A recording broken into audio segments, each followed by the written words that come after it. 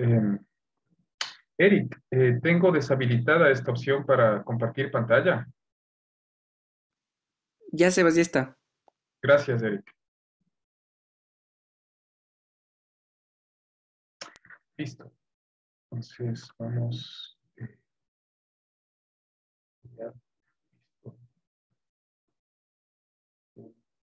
Perfecto. Antes de iniciar, eh, bueno, quisiera tomarme unos pequeños 5, 7 minutos de esta clase para, bueno, darles unas, unas pequeñas palabras con respecto. Ya eh, hemos avanzado, tenemos ya 20 horas de, de curso completadas de las 50 propuestas. Y en este punto, bueno, me gustaría hacer una, una pequeña, bueno, darles unas pequeñas palabras con respecto a lo que vamos a ver a continuación y con respecto, bueno, a una, una experiencia personal. Les digo, no va a durar más de 10 minutos esto. Y bueno, esto es lo, lo siguiente. Eh, como pueden observar en este punto, eh, ustedes han visto cuando yo estaba tratando de, lanzar este curso, y, les digo, es la primera vez que, que bueno, enseño lenguajes de programación en sí. Eh, me he dedicado a esto ya, bueno, a manera de hobby, por así decirlo, desde que empecé a hacer mi maestría acá, pero formalmente enseñar esto eh, lo hago, eh, este es, esta es la primera vez que lo hago y lo hago con ustedes.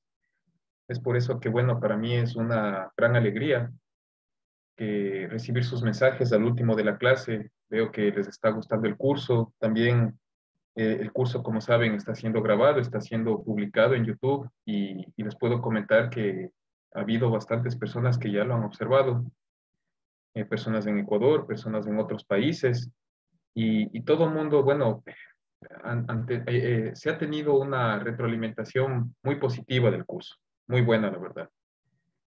Más que todo por la idea en sí, que es de compartir, bueno, el conocimiento de una manera libre y que todos puedan acceder a él. Entonces, antes de iniciar, el, cuando estaba organizando el curso y, y bueno, cuando estaba buscando este patrocinio, que lo hice gracias a Hablando IQ, y, y, bueno, creo que muchos de ustedes conocen a, al profesor Pablo Araujo. Eh, Pablo fue mi, profesor de química en, en el colegio. Eh, él fue el eh, profesor del Colegio San Gabriel cuando yo estaba estudiando ahí. Y, bueno, con, con, el pasar de los años, eso en el colegio fue casi hace 17 años, estoy hablando, la mitad de, de mi vida prácticamente. Entonces, siempre he mantenido, he tratado de mantener una buena relación con docentes, compañeros, que bueno, ahora ya todos, incluso yo, ya son personas adultas, la mayoría, y, y hubo este, este patrocinio que estoy muy agradecido. Entonces, eh, yo les quería comentar lo siguiente. Eh, en un inicio, bueno, mucha gente me preguntaba, y Sebastián, ¿para qué me sirve Python? Creo que ahorita que vamos ya a iniciar el capítulo 16 y hemos acabado 15 capítulos, ustedes más o menos ya tienen una, una pequeña idea de por dónde va esto. O sea, Python prácticamente lo pueden utilizar para todo lo que ustedes deseen. Y existe esta, bueno, este, no sé cómo decirlo, mal, mala concepción por parte de muchas personas. Incluso eso existió en mi propia carrera, en la Facultad de Ingeniería Mecánica, cuando se decía nosotros como ingenieros mecánicos a veces no necesitamos saber este tipo de cosas no necesitamos eh, ingresar en temas de electrónica. Y, y también, bueno, les aclaro, eh, muchas personas, bueno, me han preguntado o posiblemente no lo sé.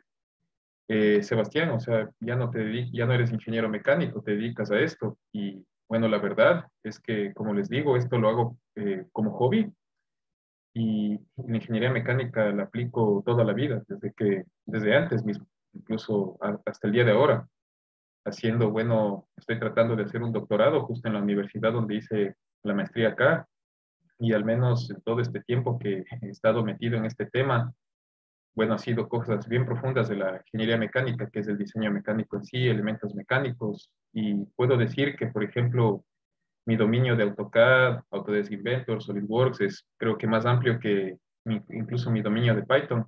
De hecho, de eso sí he dado cursos en la empresa Novacero donde estuve, que fue mi primera experiencia laboral, luego en una empresa Andes Metal donde también se me abrió las puertas y di, bueno, trabajé ahí también y di un curso de Autodesk Inventor.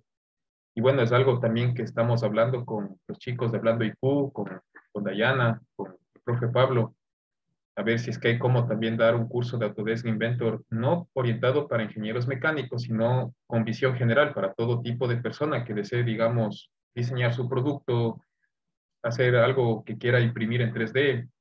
Eh, y, creo que hay cómo hacerlo. No es necesario tener bases de ingeniería mecánica. Eh, gracias, Robert. Muchísimas gracias, la verdad. Eh, para entender a profundidad cómo se, cómo se utiliza este software. Entonces, bueno, lo único que les puedo decir a manera de inspiración, cerrando este capítulo de, de Jupyter Notebook, es que, bueno, el día de ayer estaba conversando con un docente, decano de la Facultad de la ESPE, y él, bueno, eh, con él he hecho unos artículos científicos en el tema, bueno, de Arduino, de, algunas cosas, la verdad.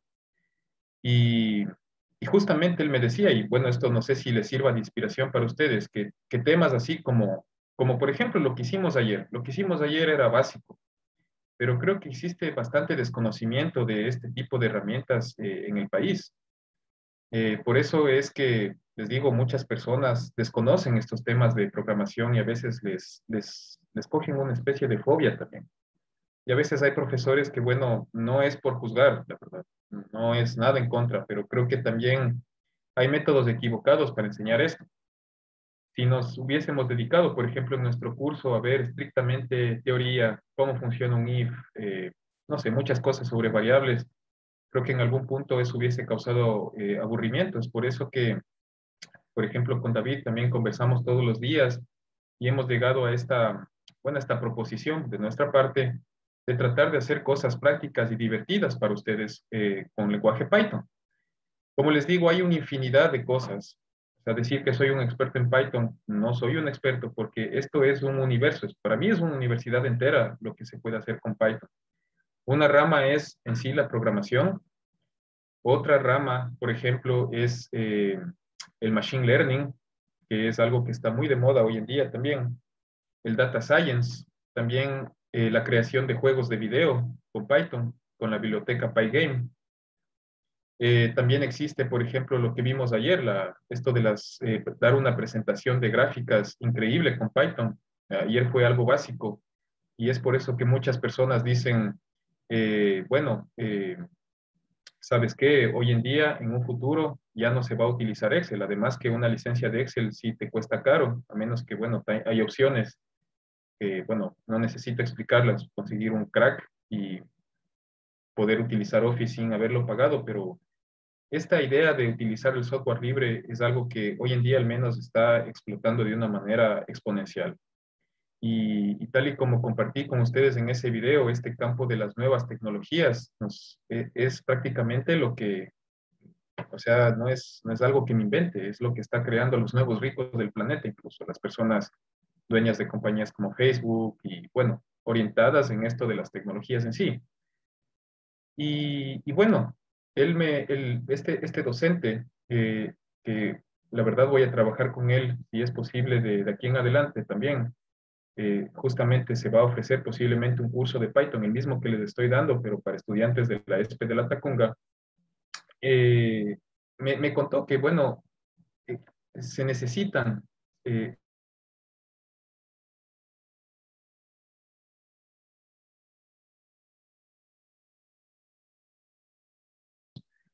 no lo sé. Eh, yo qué sé, por ejemplo, eh, evaluación de, no sé, de reacciones en una fórmula química, por ejemplo, utilizando Python. Hacer su propio programa de Python que ustedes puedan venderlo, bueno, a una empresa y también hacerlo como una especie de paper. Eh, y como les digo, esto no solamente es para la ingeniería, vamos al, al lado de la persona que hace la contabilidad, por ejemplo.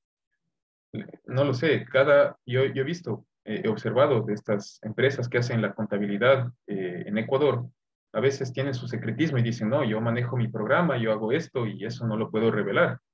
Pero ahora les voy a ser sincero y no es nada en contra de eso, porque también estudié un masterado en administración de empresas.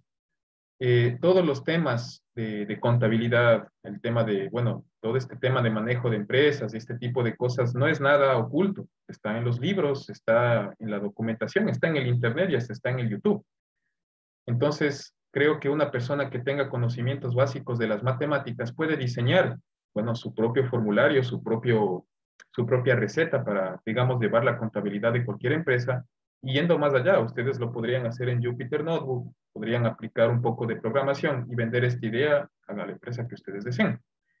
Es decir, eh, esto de Python es una, abre una infinidad de puertas a todo lo que ustedes quieran hacer. Y, como les digo, es solamente el inicio. Python, por eso se lo llama Introducción al Computer Science, porque estamos analizando todos estos conceptos de la programación que en un futuro ustedes no solamente lo van a aplicar en Python, sino también en otros lenguajes. Esto es, digamos, la puerta de entrada para que un día, digamos, ustedes hagan un curso de Java, de JavaScript, de Haskell, de C++, de C Sharp.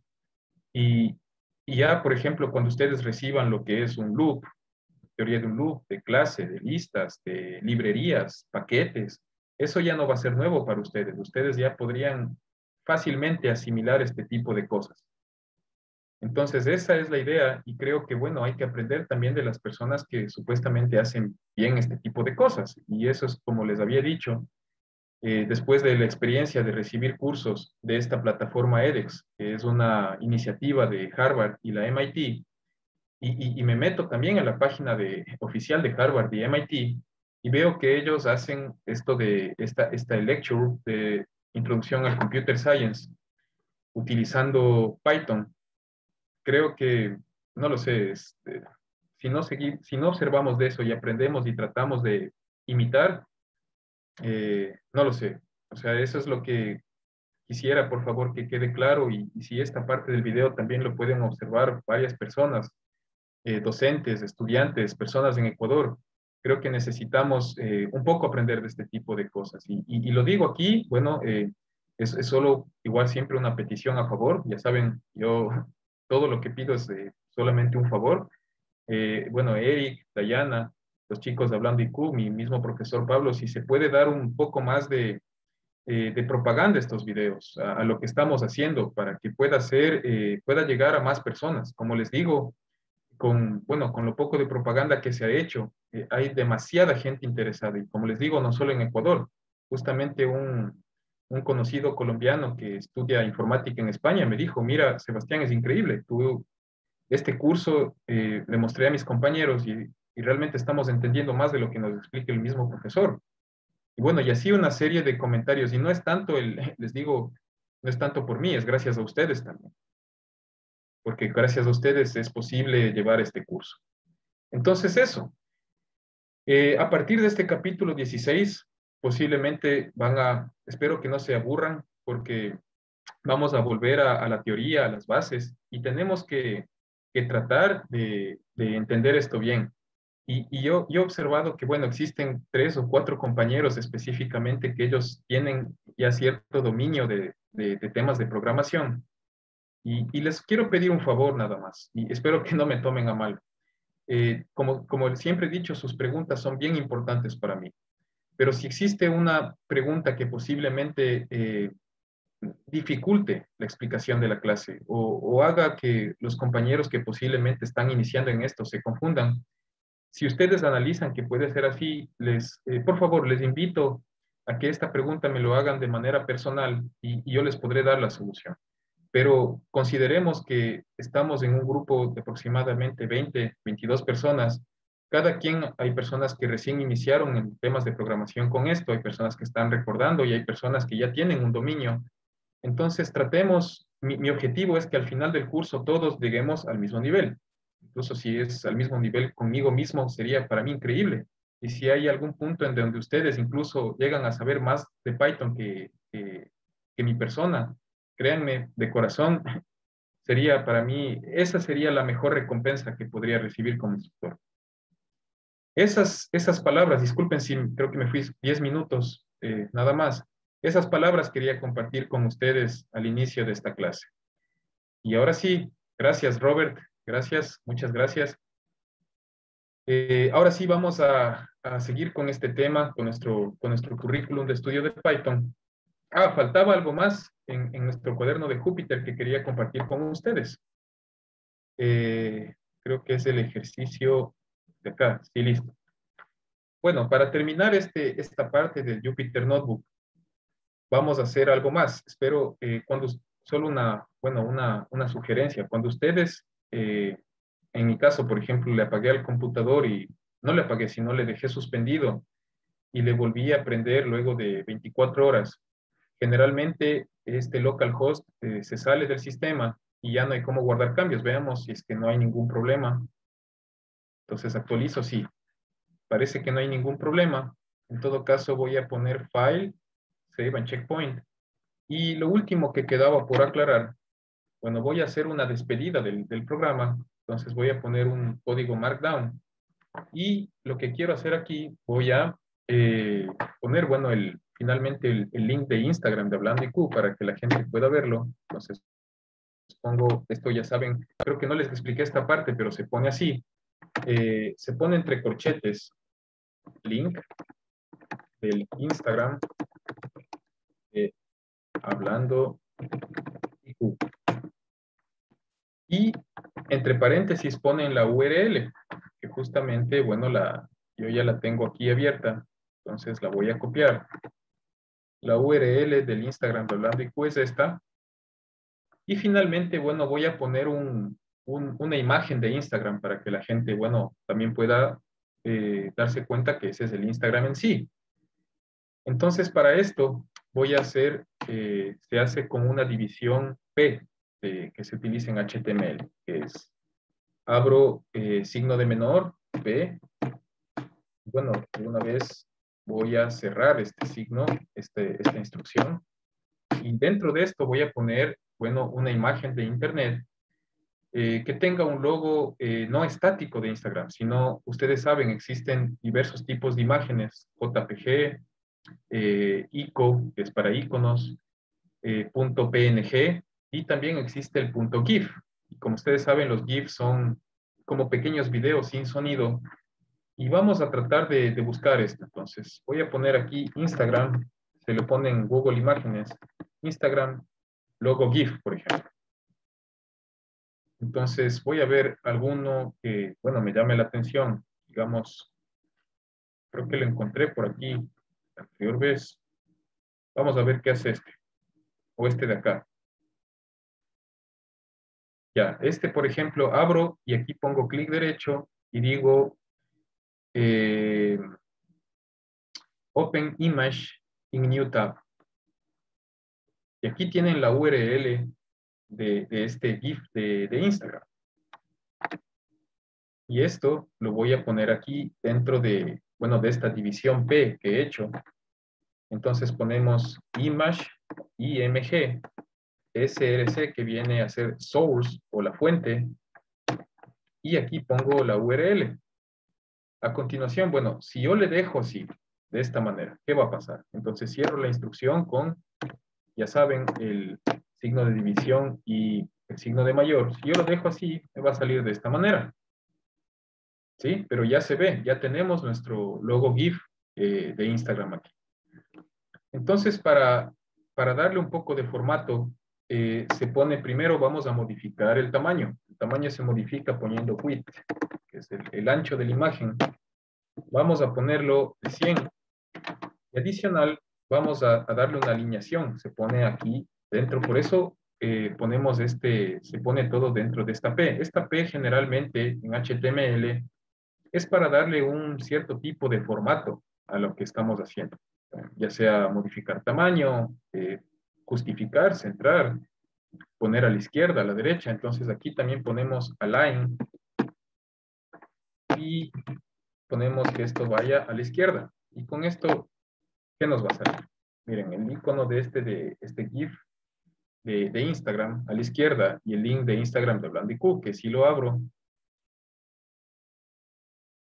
bueno, ahí está la página, bueno, ahí me pueden ver a mí, y, listo. Entonces ahí, con esto hemos acabado nuestro programa. Miren todo lo que hemos hecho. Entonces, eh, como les digo, bueno, esto lo pueden guardar, se va a guardar en su, en su, en su carpeta, Save and Checkpoint. Y si ustedes gustan también pueden ponerlo aquí, Download As. Digamos, lo pueden guardar Hay algunas opciones que no sirven lastimosamente. Por ejemplo, este PDF vía látex no, no funciona. A mí no me funcionaba. No sé si, miren, a mí no me funcionaba. Y puede ser que necesite tener instalado látex. Pero, eh, por ejemplo, lo voy a guardar. Lo que sí hay como guardarlo como un notebook. Entonces, esto sí se los, se los guarda eh, como un notebook que ustedes pueden, no lo sé, eh, pasarlo a otro compañero, por ejemplo, hacer su deber, porque hay un deber de Jupyter Notebook y esto me pueden poner en la carpeta de Google Drive. O también, bueno, la manera de imprimir lo hago directamente desde aquí, con Control P. Entonces, con Control P, ustedes saben, si no tienen una, una impresora instalada en la casa, una opción es utilizar lo que es el Microsoft Print to PDF. Entonces aquí, bueno, existen algunas opciones. Por ejemplo, eh, el paper size, digamos, lo pongo a 4. Miren, tenemos esto así. Parece que ahí está, está chévere. Bueno, aquí la, la escala pueden también modificar. Le puse escala 70 para tratar de ver todo bien, todo lo que hemos hecho aquí. Listo, entonces voy a guardar esto, print. Y a continuación, bueno, me voy al, escritorio donde habíamos creado el capítulo 15 de Júpiter.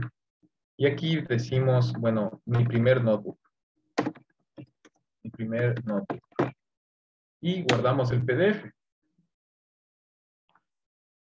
Y bueno, cerramos esto de aquí. Ya no vamos a utilizar. Vamos a ver ¿Qué nos sale?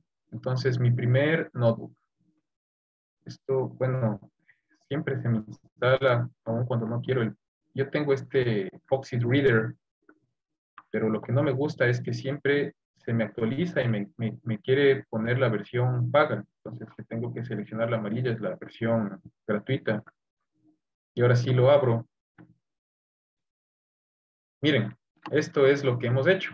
Y esta es la presentación que ustedes pueden dar a su, a su, a su código de Python. Entonces aquí miren, hemos, hemos hecho un recordatorio de funciones. Aquí hemos probado cada función con un ejemplo práctico. Aquí es el output de la consola. Igualmente, cada tipo de función la hemos probado. Aquí hicimos nuestra práctica, que era, eh, bueno, hacer esta función.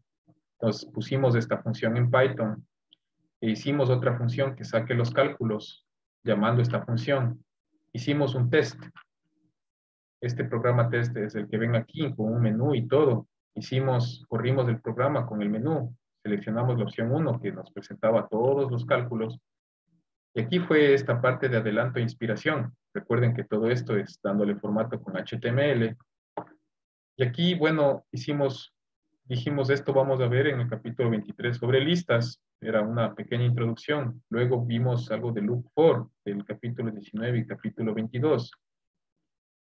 Entonces vimos cómo se utiliza un for de la manera más básica posible, este comando range también. Vimos que la lista puede tener todo tipo de elementos. Luego el loop while, hicimos igual una pequeña introducción. Miren todo lo que hemos hecho el día de ayer. Eh, vimos esta definición de while true, que ya la vamos a ver. Luego vimos esto del recorrido de listas con, con for. Entonces aquí eh, hicimos nuestra misma función. Le, definimos de nuevo, pero ya para que nos retorne un valor y no que imprima cosas en la consola. Y luego, bueno, eh, definimos el rango de X por medio de este range, que ya lo hemos de ver luego bien cómo funciona esto. Y luego establecimos los valores de f de x con respecto a cada eh, valor eh, de, esta lista que hemos creado a partir del range.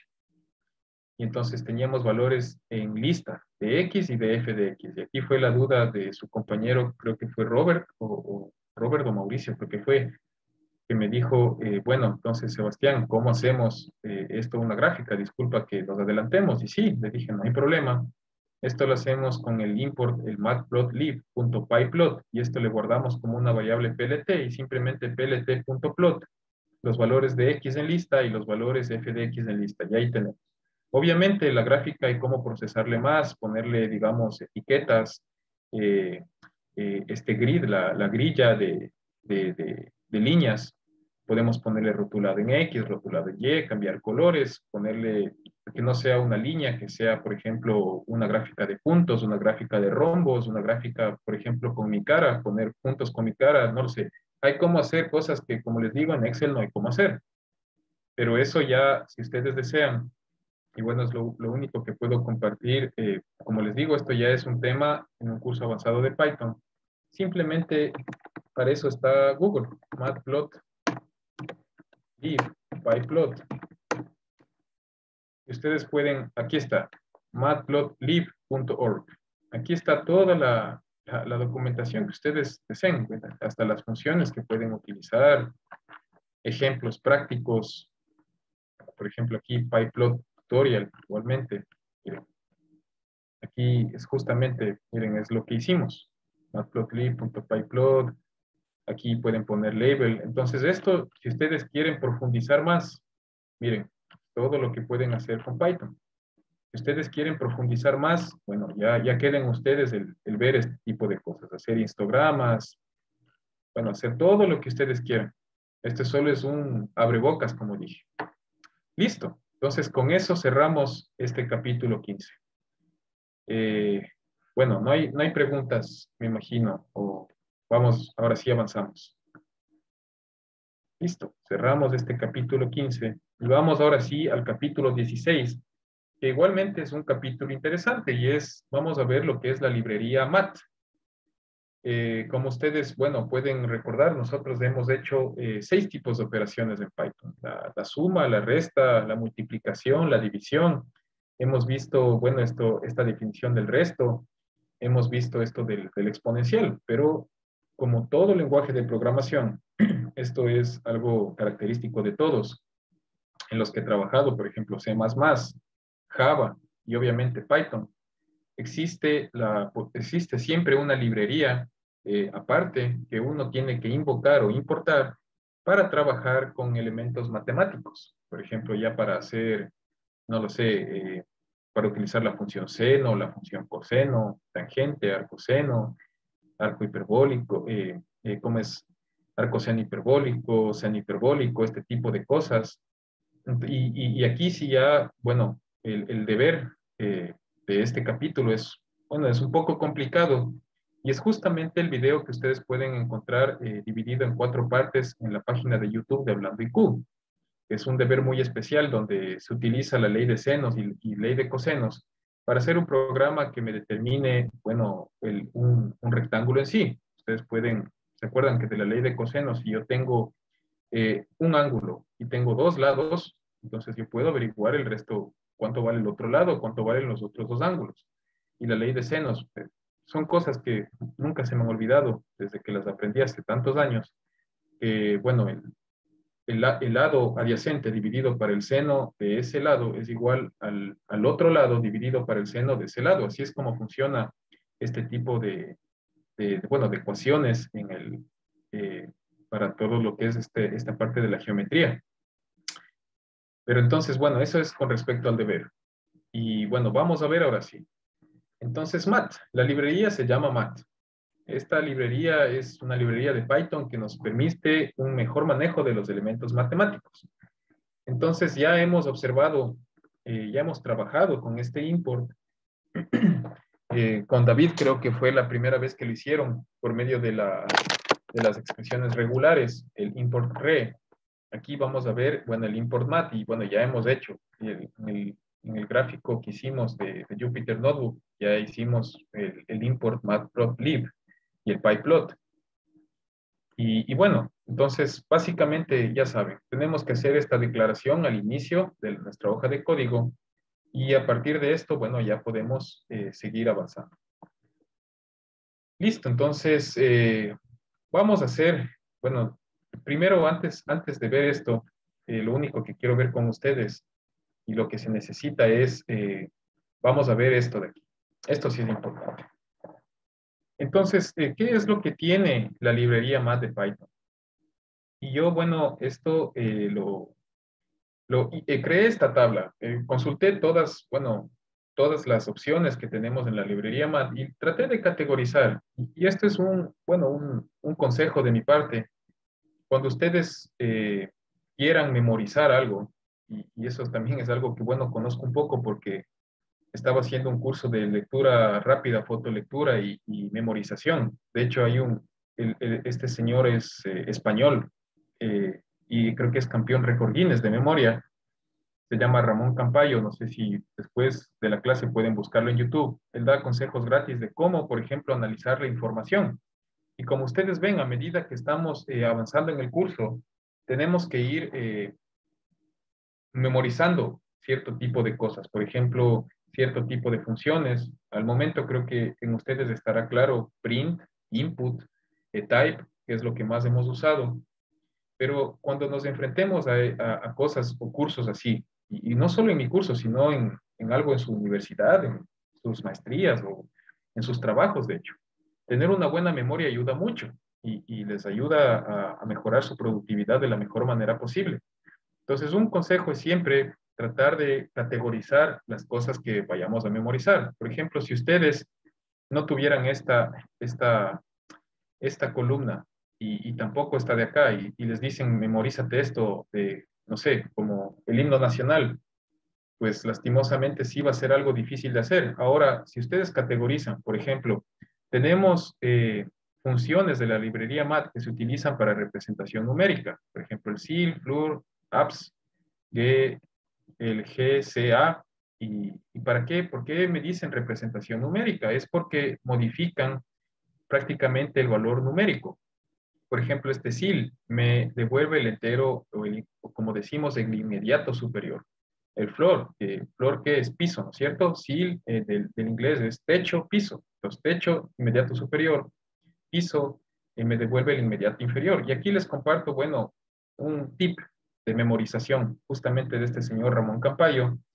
Decían que para memorizar este tipo de cosas, que parece es algo abstracto de hacerlo y, sobre todo creo que la mayoría de ustedes son ingenieros químicos. Eh, yo les voy a contar algo. por ejemplo, la, no sé, ustedes como ingenieros químicos, me imagino, deben, deben dominar a profundidad la tabla de, de, los valores, eh, ¿cómo, ¿cómo, es esto? Los, estos valores de... Los elementos no, no de los elementos, pero los, las valencias de los elementos. Y les digo porque yo han pasado 18, 19 años y todavía me acuerdo. Por ejemplo, la valencia más uno, litio, sodio, potasio, rubidio, cesio, francio, plata. Más dos, berilio, magnesio, calcio, estroncio, vario, radio, zinc y cadmio. Más tres, aluminio, disprosio, olmio. Ya me he ido olvidando. Más cuatro, no me acuerdo ya bien. Pero todo esto yo me lo sabía las valencias que tienen más 2, más 3, me acuerdo que era hierro y venían algunos más, hierro, cobalto, níquel, cromo, manganeso, creo que era. Pero todo esto, ya, miren, con los años me he ido olvidando, pero al menos me acuerdo del más 1 y más 2. Y por ejemplo, aprenderse las cosas así, a mí me costó, bueno, bastantes ceros, porque mi profesora de química del colegio, bueno, sí, nos hostigó con bastantes ceros para, hasta que nos sepamos la tabla de esa manera, la tabla de valencias y justamente era para la parte de, química inorgánica, donde teníamos que hacer todos estos, bueno, formular el ácido clorhídrico, hacer todo este tipo de valencias. Y, y, les digo, un secreto de memorización y que me ayudó, si hubiese conocido al señor Ramón Campayo antes, me hubiese ayudado, no sé, a no tener tanto estrés. Dice, por ejemplo, imagínate, antes de memorizarte, imagínate, por ejemplo, SIL, Imagínate el piso, imagina, imagínate, digamos, el techo. Imagínate en el techo, no lo sé, un gato con, una, con un computador y con el número 8.9 y que el gato cae pero deja aplastando enter y se transforma en 9. Entonces, al ustedes imaginar este tipo de imágenes graciosas o, no lo sé, divertidas o, no lo sé, totalmente extravagantes en, sus en sus mentes, eh, les estoy les puedo asegurar por experiencia personal que después de un mes ustedes van a acordarse que mat.sil devuelve el, el entero superior. Y si no me creen, háganos la prueba luego de que acabemos la clase. Pero bueno, es un tip que les puedo dar. Justamente, eh, Mauricio. Justamente, Mauricio. Él, ella fue la profesora que nos enseñó a hacer de esa manera. Entonces, eh, miren, tenemos para representación numérica, como les digo, SIL, FLOR, eh, FAPS, devuelve el valor absoluto. GCA, GCA. Este es el máximo común divisor entre dos números. Después organicé lo que son las constantes matemáticas, que básicamente, bueno, existen varias, pero para esta librería MAT vamos a, jugar con dos, que es el pi, que es el 3.1416, y el e, que es el, la constante, bueno, del exponente, que es 2.7128. Como ustedes saben, el logaritmo natural de e es 1. Después tenemos lo que es exponencial y logaritmos, mat.exp, significa la e, es decir, este 2.71 elevado a algún número. El logaritmo base 10, el log, no tengo aquí nada, es, el logaritmo base natural o el base e. El mat.pow es, eh, bueno, prácticamente si ponemos mat.pow 2,3 es 2 elevado a la 3, que es 8. Y el SQRT, que es bueno, eso se lo aplica en varios lenguajes de programación, hasta MATLAB, es para sacar la raíz cuadrada. Después tenemos la conversión de ángulos, el mat.degrees. Entonces, ponemos aquí el valor en radianes y nos transforma en ángulos. Y también podemos transformar a radianes. Por ejemplo, mat.radians de 45 nos debe salir, creo que es 0.7071 radianes, es 45 grados, si es que más no me olvido. Y las funciones trigonométricas, bueno, el coseno, seno, tangente, arco coseno, arco seno, arco tangente. Y finalmente, las funciones hiperbólicas. Bueno, esto tiene la aplicación. Eh, bueno, no sé si han hecho, creo que esto ven más en ingeniería eléctrica y también, bueno, lo vimos en, una clase de matemática avanzada, que era el, ejercicio clásico de las, de las funciones hiperbólicas es para estos cables de tensión que van de, de poste a poste. Entonces, para ver este, esta deflexión que existe, eh, bueno, se lo hace utilizando estas funciones hiperbólicas. Es una de las tantas aplicaciones que tiene. Listo, entonces ahora sí vamos a ir a nuestro programa y vamos, vamos a ir haciendo un, un ejemplo de esto, de cada, de cada función. Entonces voy a volver a los tiempos, vamos a volver a nuestro replit. Listo, vamos a MyRepels. Coding. Listo, creo que vamos a trabajar la hoja 3. Creo que no había muchas líneas de código todavía hechas, si más no me equivoco. Ojalá.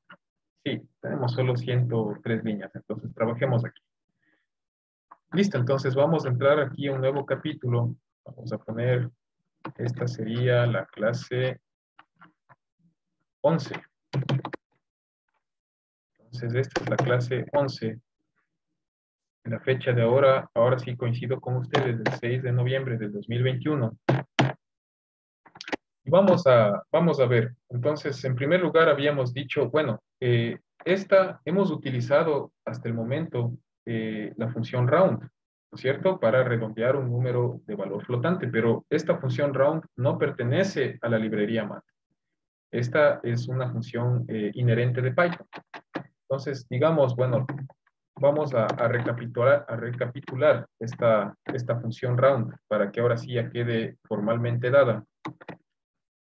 Entonces, recordarán, hemos utilizado round algunas veces, que es para redondear prácticamente. Entonces, ¿qué decimos? Si tenemos, por ejemplo, una variable flotante, digamos 2.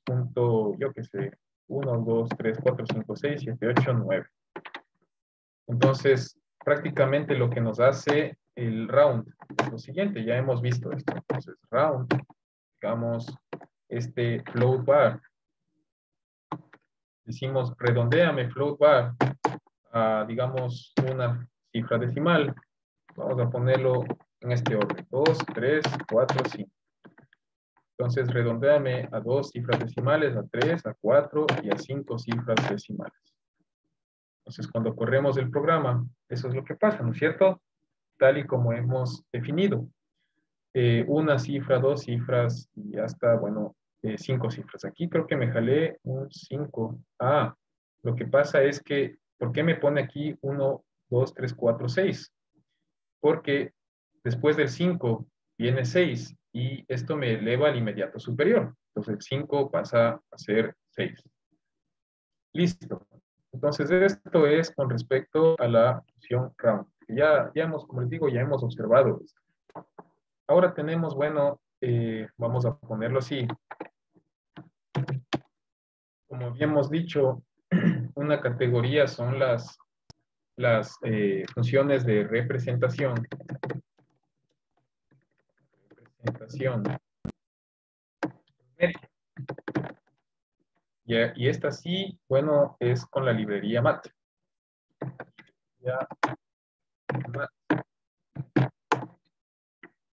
Bueno, entonces vamos a ver, eh, en primer lugar, ahora sí va a ser necesario eh, importar la librería MAT. Entonces, primero, bueno, vamos a importar import mat. Esa es la primera instrucción que tiene que existir de ustedes. Entonces, digamos, tenemos una una variable flotante 1, por ejemplo, que sea, yo qué sé, 10.98 eh, y una variable flotante 2. Sea, bueno, no lo sé. No, más bien hagámoslo así, 10.6 y la otra que sea 10.3. Listo, entonces, bueno, en primer lugar, vamos a imprimir estas variables, a ver qué, cuál es su valor. Entonces, variable flotante 1 y variable flotante 1. Luego voy a hacer lo mismo para la variable flotante 2. Variable flotante 2. Entonces corro, bueno, ya sabemos, ¿cierto? Me va a dar el valor que hemos definido para cada variable. Ahora bien, vamos a hacer lo siguiente. Entonces, eh, vamos a ver qué pasa cuando nosotros utilizamos, bueno, habíamos visto que tenemos tres tipos de funciones. El mat.sil, el mat.floor y tenemos el round. Ah, bueno, el round ya, ya lo hemos visto.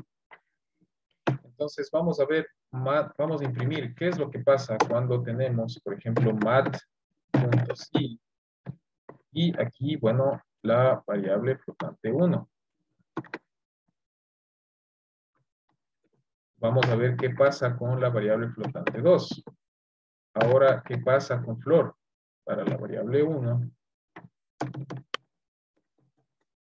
Y para la variable 2. Y bueno, para que sepamos qué es lo que estamos haciendo, vamos a poner esto mismo, pero como una especie de rotulado. Entonces ya sabemos que lo hacemos de esta manera. Y ponemos un igual. Listo, y copiamos este formato para ahorrar tiempo de código. Toma. Esto sería con el 2. Este sería con el flor. Y finalmente, aquí me falta una coma. Y finalmente, lo hacemos con el flor para la variable 2. Entonces, bueno, ya sabemos lo que va a pasar aquí después de la explicación. Entonces, bueno, aquí eh, ya sea que tengan 10.3 o 10.6, lo que va a hacer les lleva inmediatamente les lleva inmediatamente al eh, siguiente. O sea, si tienen 10.1, 10.9, les va a llevar, digamos, el, el SIL les va a llevar a, valor 11.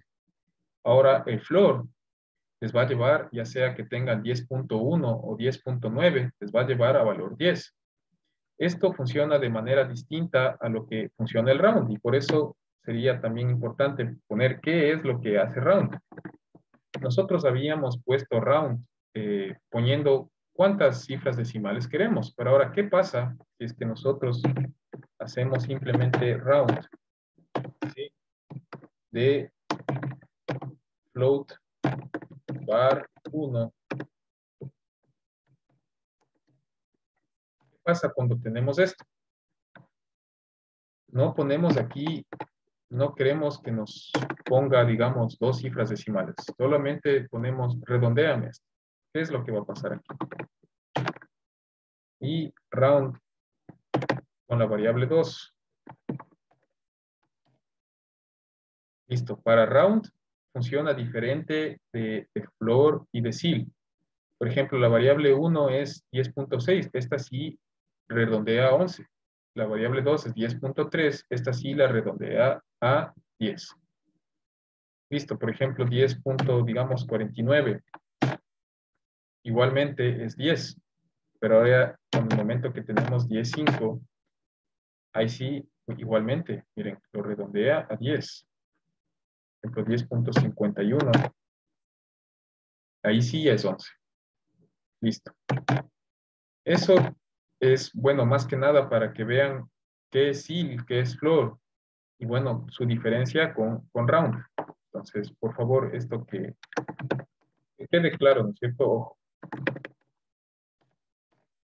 Listo, eso sería, bueno, las, las, primeras. Ahora, bueno, habíamos dicho también eh, una, de, una, una función de representación numérica es el apps. Entonces, ¿qué hace este, eh, el, el, el, apps? El apps es, eh, nos devuelve el valor absoluto, ¿sí? Y el valor absoluto es el valor positivo de cualquier valor numérico que nosotros ingresemos. Por ejemplo, el valor absoluto de menos 8 es 8. El valor absoluto de 100 es 100.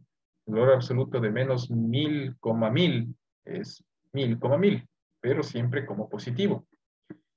Entonces, eh, bueno, vamos a hacer una práctica de, de apps también. Digamos que voy a poner otra variable. Por ejemplo, variable 1, voy a llamarla menos 50.989.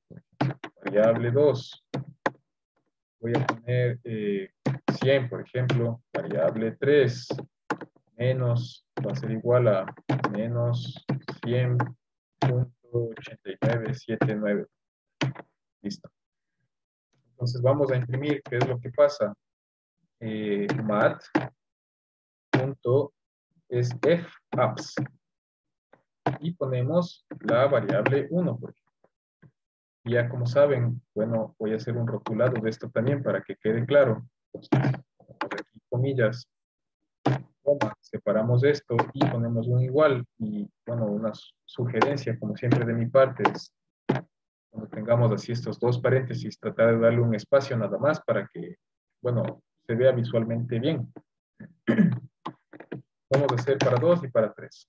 Entonces, para dos, para tres, para dos y para tres. Listo, entonces como pueden observar, el valor absoluto simplemente se me quita el negativo, nada más. Eso, bueno, ya sabemos que, funciona así. Ahora vamos a ver el máximo común divisor, que también lo podemos representar por medio de mat.gca. Aquí vamos a ponerlo también para no olvidarnos. Este es mat,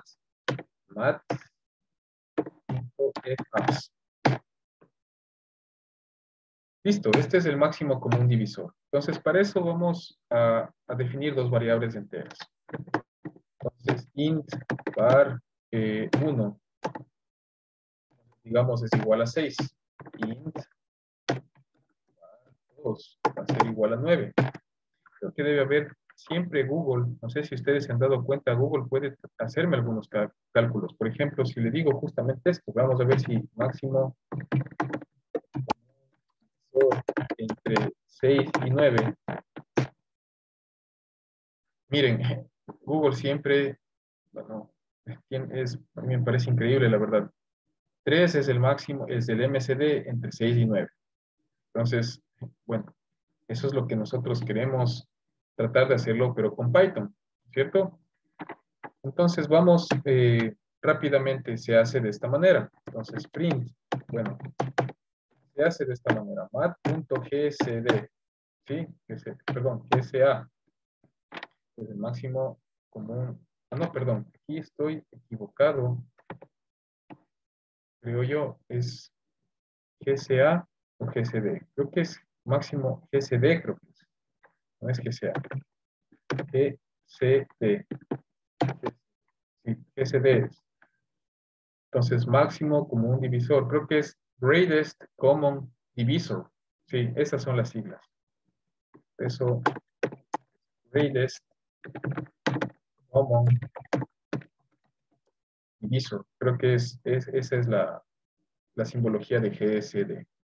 Entonces aquí básicamente vamos a poner, bueno, la int bar 1 entre int bar 1 y la int bar 2. Pero como ustedes saben, si yo lo dejo así, bueno, no, me, no me va a imprimir esto. Entonces necesito imprimirlo. ¿sí? Y adicionalmente, bueno, como ya hemos hecho, voy a copiar lo mismo y le voy a poner esto como un rotulado. Entonces, de esta manera. Y ahí sí. Dice el greatest common divisor entre, bueno, la int bar 1 y la int bar 2, que son 6 y 9, es 3. Me ha sacado lo mismo que me dice Google. Entonces, puedo decir que estoy en lo correcto. Listo, ahora vamos eh, al... Esto era para representación eh, numérica. ¿sí? Ahora vamos, bueno, a hacer los elementos de la librería MAT. Habíamos definido otra categoría, que es las constantes matemáticas. Constantes matemáticas.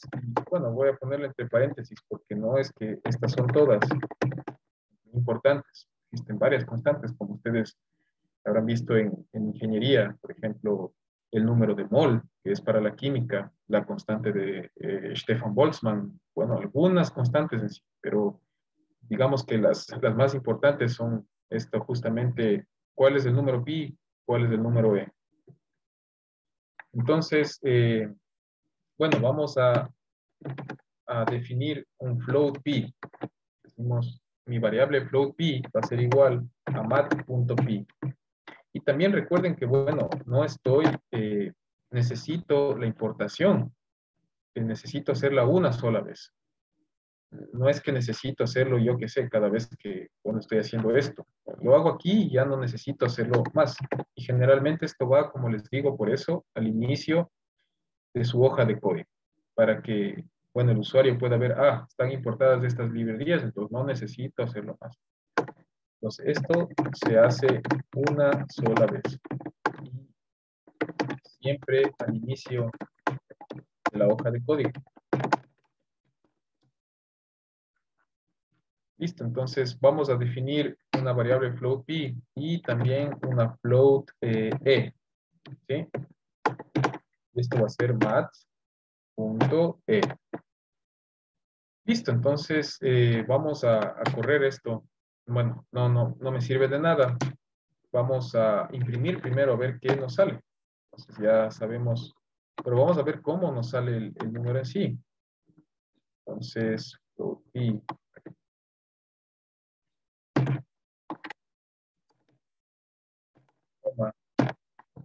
y vamos a hacer lo mismo con el float e. Eh, aquí, bueno, me va a salir un error porque, ah, no, si no, no, no me va a salir. Listo. Vamos a ver cómo nos, cómo nos presenta esto. Miren, nos da de esta manera, ¿sí? Entonces aquí podemos utilizar, como ya hemos conocido, nuestra función round. Entonces vamos a hacer eh, round, round de, digamos, float p. Vamos a ponerle cuatro cifras decimales, ¿sí? Y también, como ya saben, vamos a ponerlo esto como rotulado para acordarnos de cómo funciona esto. Entonces, entre comillas aquí. Y listo. Y vamos a hacer lo mismo para el float E.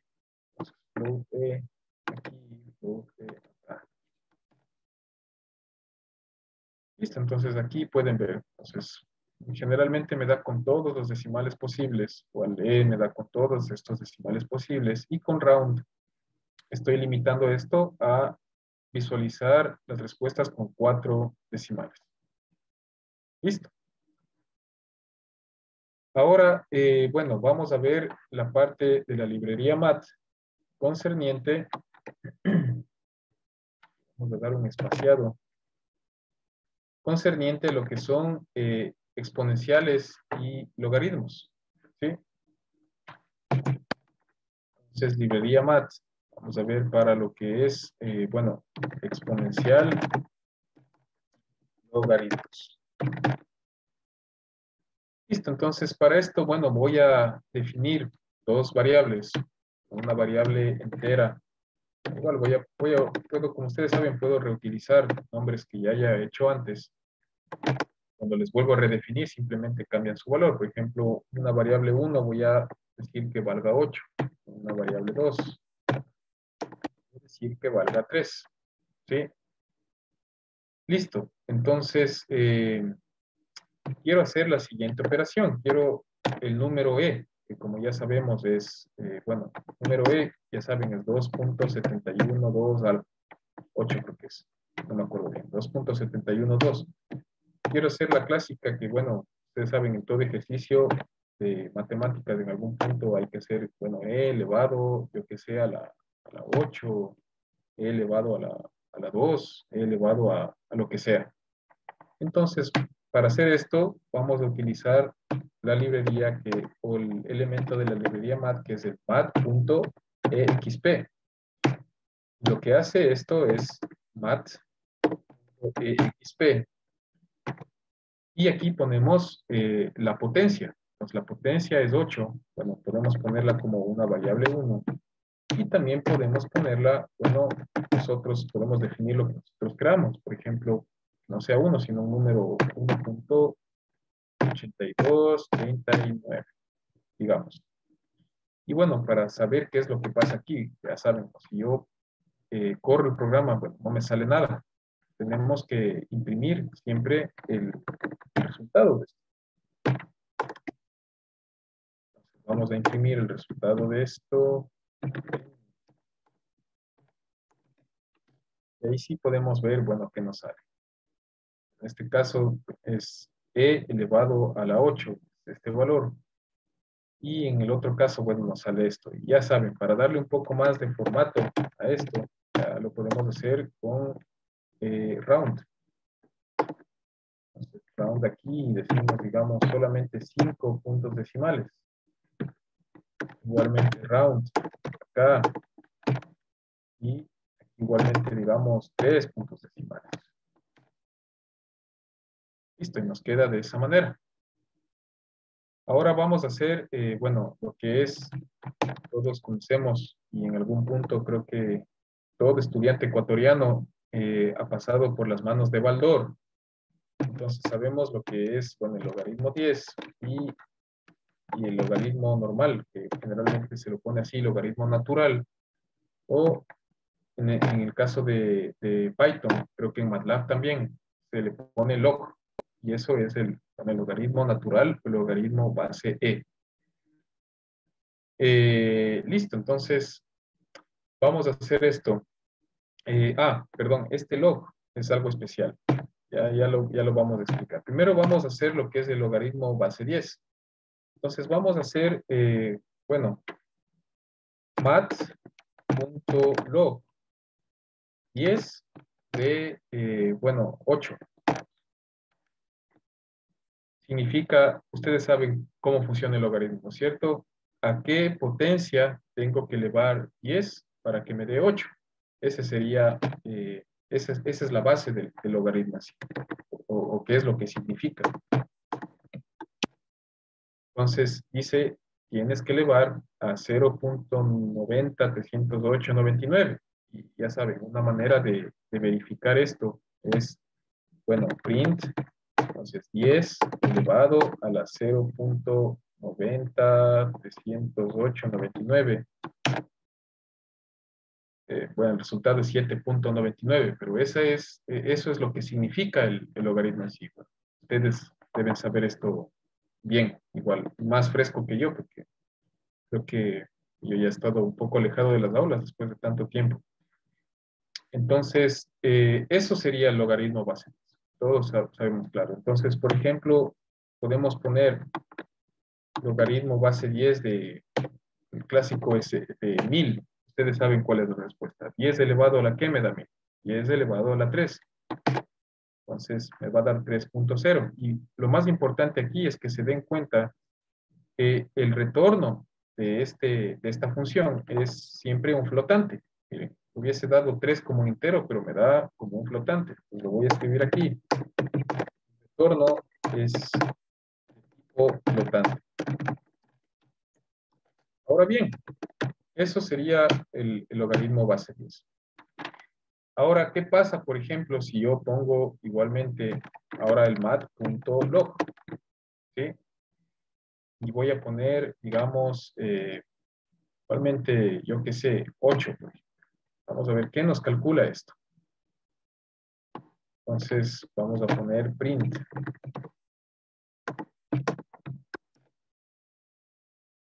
Bueno, me sale 2.079. Bueno, eh, decimos que, ¿qué pasa aquí? Entonces, es igualmente, ¿no es cierto? El número natural E, que es 2.70 algo, elevado a la 8, eh, me va a dar este resultado. Podemos verificarlo. Entonces, mat, y habíamos aprendido mat.e. Y esto, bueno, exponente 8.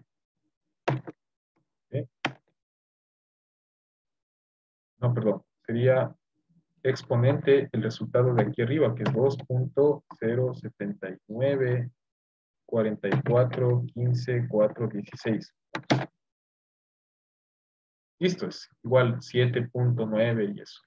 Entonces, bueno, solamente por definición, por si acaso nos observen en YouTube personas que, bueno, todavía necesiten una especie de aclaración con respecto a esto. Esto significa eh, E elevado a qué potencia, una potencia X, me tiene que dar igual a 8. Entonces, el logaritmo básicamente el logaritmo despeja esta x. Pero bueno, esto es la, log en sí. Pero ahora también podemos utilizar log definiendo qué base, como ustedes saben, eh, no solamente puedo tener base 10 o base E. El logaritmo puede ser, digamos, base 2, base 3, base, la base que yo desee. Entonces podemos nosotros definir con log. Log 10 está claro, ¿no? No, no podemos modificar esto, pero log, este log, y por eso lo puse aquí, log es modificable. Podemos poner la base que nosotros queramos. Entonces lo hacemos de la siguiente manera. Mat log. Y aquí decimos, por ejemplo, a ver, logaritmo base 2 eh, de 8. ¿A qué sería igual? 2 por 2, 4. Y por 2 sería 8, ¿no es cierto?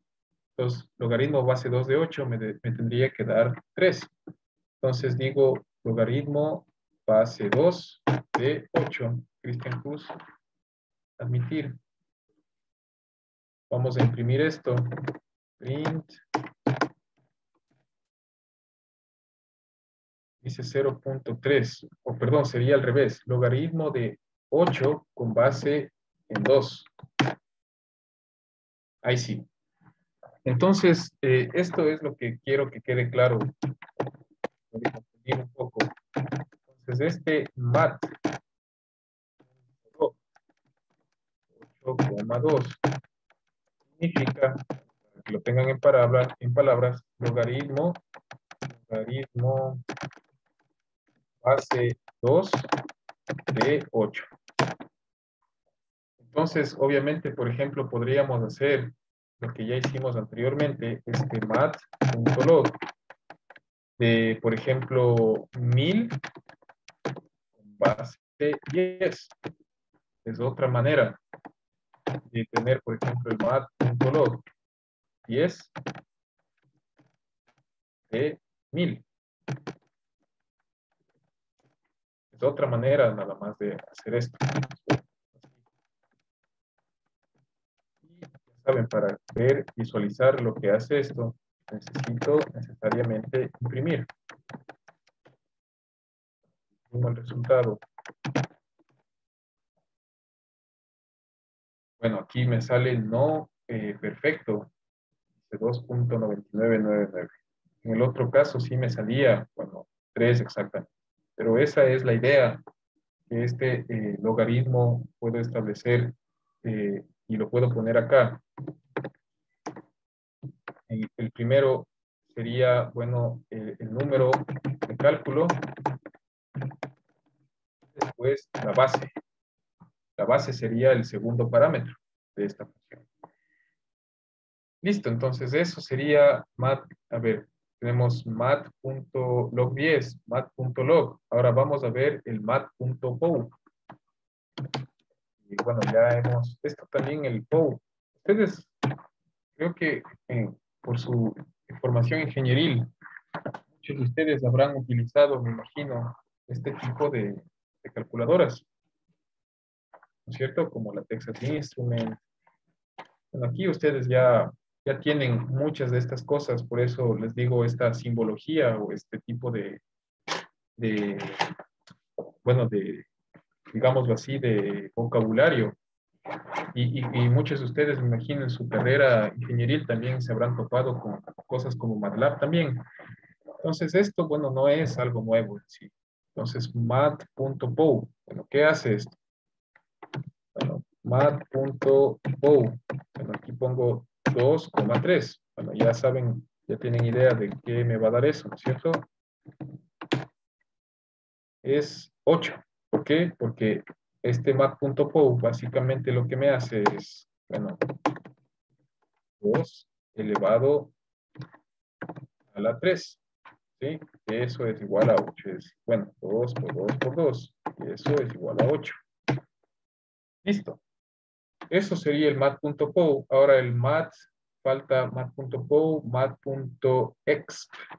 Ya. Vamos a ver mat.exp. Ya, esto es básicamente, como ya hemos visto, e elevado a un número x. Digamos el x que va aquí. Listo, entonces, por ejemplo, mat.exp digamos, de 5. Vamos a visualizar el resultado con print.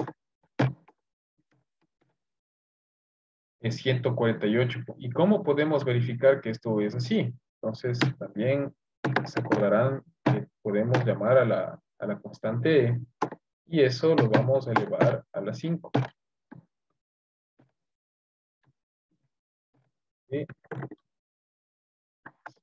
Aquí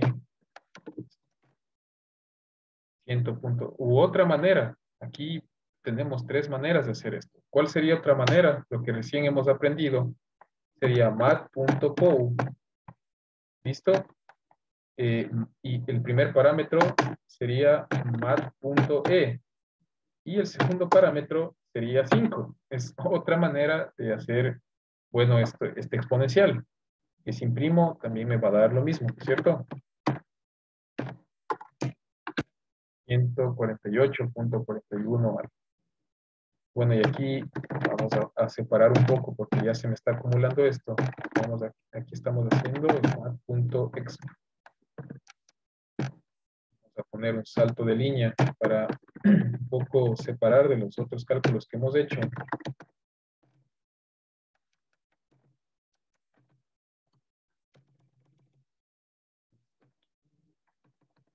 Perfecto.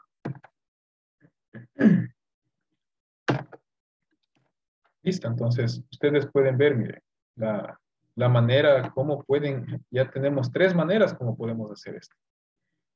Y sería importante, y lo voy a poner, eh, bueno, esto también como un rotulado para que no se olviden. Una manera uno, una manera dos y una manera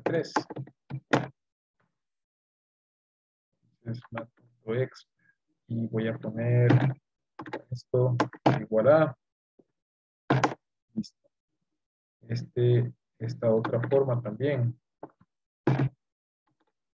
es igual a y finalmente este mat.o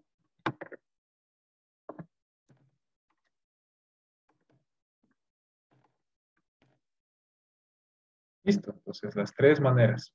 Ahora bien, eh, nos falta el SQRT, que como ustedes saben, es el square root, es la manera como se dice en inglés la, raíz cuadrada, ¿cierto?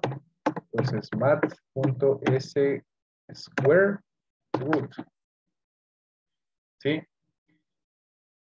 Un número fácil que todos conocemos, la raíz cuadrada, 25, 64, 100. Entonces vamos a poner, por ejemplo, mat.sqrt 25 eh, mat.sqrt de 625. Vamos a ver qué nos, qué nos da. Print. Y print. 5.0 y 25.0. Ahora, lo más importante que recuerden, como ya les dije, que nos devuelve esta, esta, este método, nos devuelve un float. ¿Cierto? No nos devuelve solamente 5 como un entero, nos devuelve como un valor flotante. Ahora bien, eh, me van a preguntar, Sebastián, ¿cómo saco la raíz cúbica? La, no sé, la raíz eh, quinta, Aquí, más que, más que preguntar si esto es un concepto de Python, sería de preguntar las, las bases matemáticas. Entonces, quisiera saber qué proponen ustedes. Eh, ¿Cómo puedo yo, por ejemplo, la raíz quinta de 2? Y espero que no se demoren mucho. A ver, vamos a ver, a probar sus bases matemáticas. Tendríamos que utilizar los exponenciales negativos directamente y ya. Sí, todos están de acuerdo con eso. Gracias, Mauricio. Perfecto, Robert. Perfecto, Robert. Perfecto, Mauricio. Todos, eh, todos están conscientes de que funciona así, ¿no es cierto? No, como asumo que todos, todos me dijeron que tienen una información ingenieril, pues me imagino, me imagino que no, no debe ser esto una dificultad, pero si es que es una dificultad, por favor, díganla con confianza y aclaremos esto. Lo importante es que todos aprendamos. Y, bueno, yo no juzgo a nadie, les digo, las, las matemáticas no les gusta a todos. Muchas personas tienen también su derecho a decir, a mí no me gusta, lo vi en los primeros semestres, no me gustó y me gusta más, yo que sé, hacer otro tipo de cosas. Así que asumo que todos están de acuerdo con Robert, con, con eh, Francisco, con Mauricio, todos han, han, dicho que funciona así, ¿no es cierto? Entonces ya sabemos que, digamos, la raíz quinta, digamos, de 2, sabemos que esto es igual, ¿sí? A 2 elevado al un quinto, ¿sí? Esa es la raíz quinta. Igualmente, la raíz cuadrada, digamos, la raíz cuadrada de, de 4, eh, digamos de 25. La raíz cuadrada de 25 es 25 elevado a la 0.5. O 25 elevado al 1 medio. Y esto es igual a 5. Es otra forma de, de representar las raíces, ¿cierto? De los números. Y digamos, yo quiero hacer eh, la raíz, yo qué sé, eh, novena, incluso puede ser eh, ya ni siquiera una raíz con números enteros, yo que sé, raíz, bueno, pongamos la raíz novena, digamos 850. Vamos a hacer esto. Entonces, igualmente vamos a explorar las opciones. Una opción es sin utilizar la librería MAT. Entonces, opción 1, sin la librería MAT podemos hacerlo.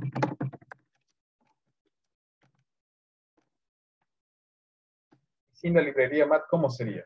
850 elevado, tenemos que imprimir esto, print 850 elevado al 1 sobre 9. Y me da este resultado. Otra opción sería utilizando el mat.pow, ¿cierto? Decimos de 850 y de 1 sobre 9. Esa sería la raíz novena. Y como ustedes saben, bueno, eh, se podría poner todo tipo de número igualmente. Por ejemplo, ah, digamos, raíz 8. Bueno, aquí ya, como ustedes saben, ya es para hacer volar la imaginación también. Digamos la 7.25. Aquí ya, como pueden ver, y esto es lo más importante, es que básicamente, aunque sean operaciones básicas, con esto ustedes creo que en cualquier ingeniería, no importa cuál sea, eh, química, civil, eh, mecánica, ambiental, todos manejamos en, a la final máximo este tipo de, bueno, de, de complejidad matemática. Y con esto nosotros podemos elaborar una serie de cálculos increíbles para todo lo que nosotros necesitemos hacer. Ahora, si todo eso combinado con un programa de Python, entonces ya se pueden imaginar, bueno, esto, qué potencial tendría, no lo sé si eh, muchos de ustedes ya habrán terminado sus carreras o estarán escribiendo sus tesis, pero puede ser que aparte, bueno, de su tesis formulada, puedan presentar un programa en Python que haga lo que dice su tesis. Por ejemplo, para mí es la aplicación más increíble y es lo que aspiro. Ojalá algún día, no lo sé, después de algunos años me digan, Sebastián, sabes que lo que estoy estudiando maestría y, no sé, hice mi programa en Python de lo que quise poner en mi tesis. Sería algo increíble para mí. Esa sería la mejor recompensa, la verdad. Entonces, bueno, eso es cómo funcionan estas, este exponencial y logaritmos. Ahora vamos eh, a la otra parte de la librería MAT, que son, bueno, la conversión de ángulos. Bueno, la conversión de ángulos. Entonces, todos estamos, todos tenemos, eh, bueno, los fundamentos de, de lo, de, lo que es geometría y ángulos, ¿no es cierto? Sabemos que, bueno, lo más importante es saber que 180 grados es igual a pi radianes. y pi, bueno, ya sabemos cuánto vale pi, 3,1416 radianes. Sabemos que los ángulos pueden ser representados en grados, pueden ser representados en radianes. Y bueno, sabemos 360 grados es igual a 2 y radianes. Es igual, podemos ponerlo aquí, exactamente a 3.1416 por 2, a 6.2832 radianes. 6.2832 radianes. Y eh, pi nada más, bueno, ya sabemos 3.1416. Esto es igual a 3.1416 radianes. También eh, sabemos que, bueno, los grados generalmente se los pone como en el inglés, de, ¿sí? O bueno, en el español algunos profesores también lo ponen como grado. Son solamente simbologías nada más. Pero lo más importante, y eso creo que fue de todos hemos recibido física en algún momento de la vida, los, o, bueno, el, clásico cálculo del, perímetro de un círculo, todos sabemos exactamente que 2 pi radianes son 360 grados. ¿Listo? Entonces, esa es lo, lo, lo, que, bueno, si es que se han olvidado, esa es la, lo, más básico y lo más esencial que necesitamos aquí. Entonces, vamos a definir, eh, bueno, vamos a hacer eh, quiero yo el ángulo de, 30 grados, pero no lo voy a definir como 30 grados, lo voy a definir como, eh, bueno, en radianes, ¿sí? Entonces, si 180 grados son pi radianes, 30 grados, ¿cuánto es? 30 por 6 es 180, ¿no es cierto? Entonces, pi radianes dividido para 6 sería los 30 grados. Entonces vamos a hacer eso. Vamos a definir una variable que sea ángulo 30 en radianes. Entonces esto sería amat.pi, ¿sí? Dividido para 6. Eso sería en, o sea, en, en, en radianes. ¿Cuánto valdría 30 grados? Listo. Ahora yo quiero, digamos, eh, esto quiero que me presente en grados. Quiero que me presente este valor de, pi radianes en, grados. Entonces, ¿cómo hacemos? Habíamos, eh, bueno, el mat punto y gris. ¿Sí? Y decimos eh, este ángulo, metemos este ángulo de 30 radianes. Y esto yo quiero que me, que me digas cuánto vale esto en grados. Entonces, miren, Python me dice 29.999. Es, eh, bueno, es el resultado de Python. Ya sabemos, si queremos darle un sentido a esto, podemos hacer con round. Y decir, bueno, aproxímame a tres cifras decimales. Bueno, ahí sí me da 30.0. ¿Ya? Listo, igualmente, digamos, el ángulo 30 en grados es igual a 30, ¿no es cierto? Ángulo 30 en grados es igual a 30. Y este quiero yo pasarle a radianes, ¿sí? Entonces también voy a imprimir cuánto vale 30 grados en radianes. Entonces lo voy a hacer de esta manera. Listo. Y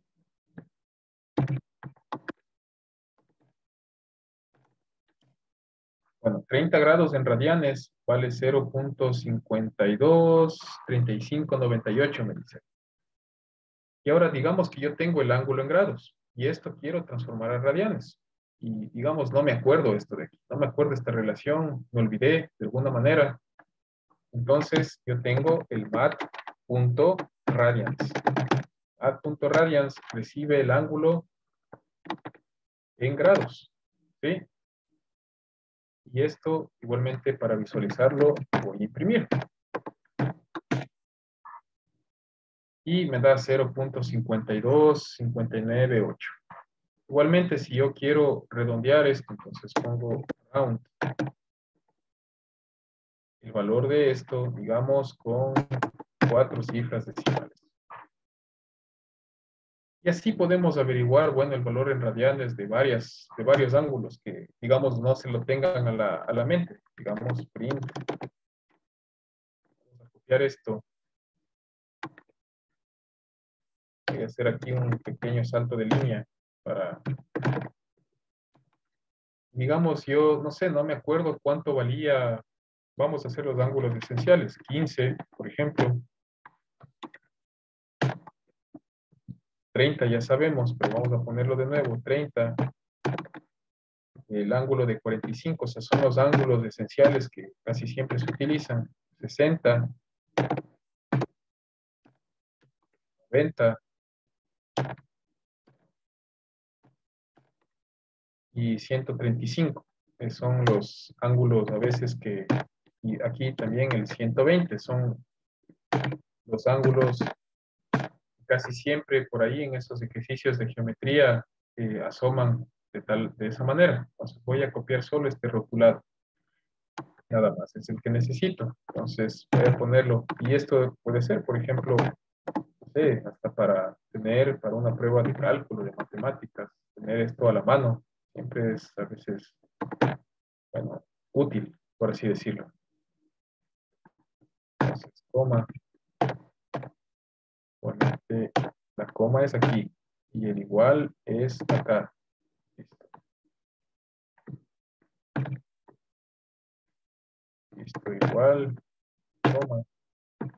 Entonces sería de 30, 45. Aquí es de 60.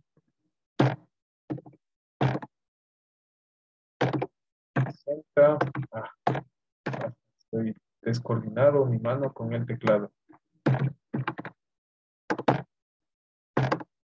Este es de 90. Esto sería de 120. Y finalmente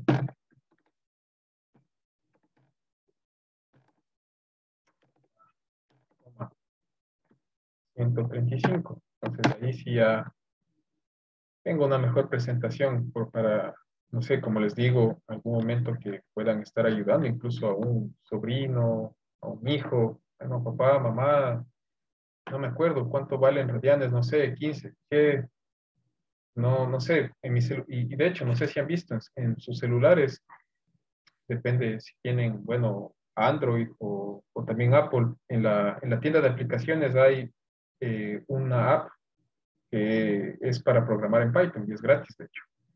Entonces, no lo sé, no tienen una calculadora a la mano, tienen su celular o tienen el internet, hacen rápidamente, importan MAT y, ven con mat.radians, bueno, vale 15 vale esto, 45 vale esto, 90 vale esto, 120 y, y lo pueden hacer.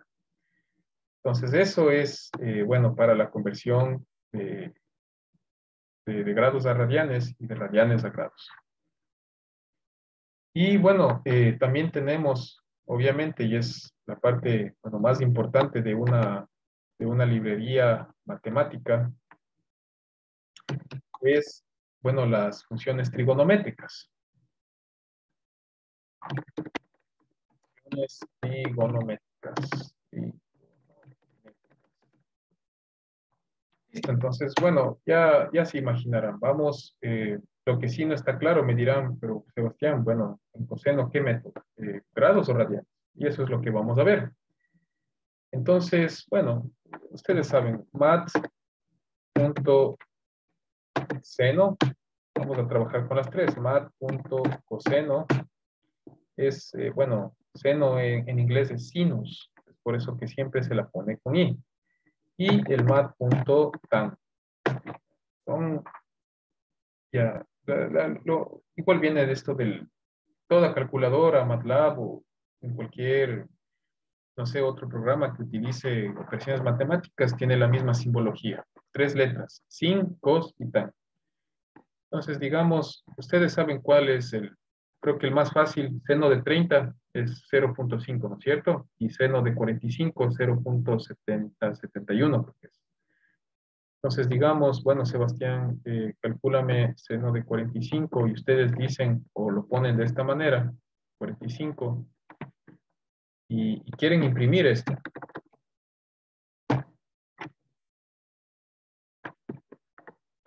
Se van a llevar una sorpresa.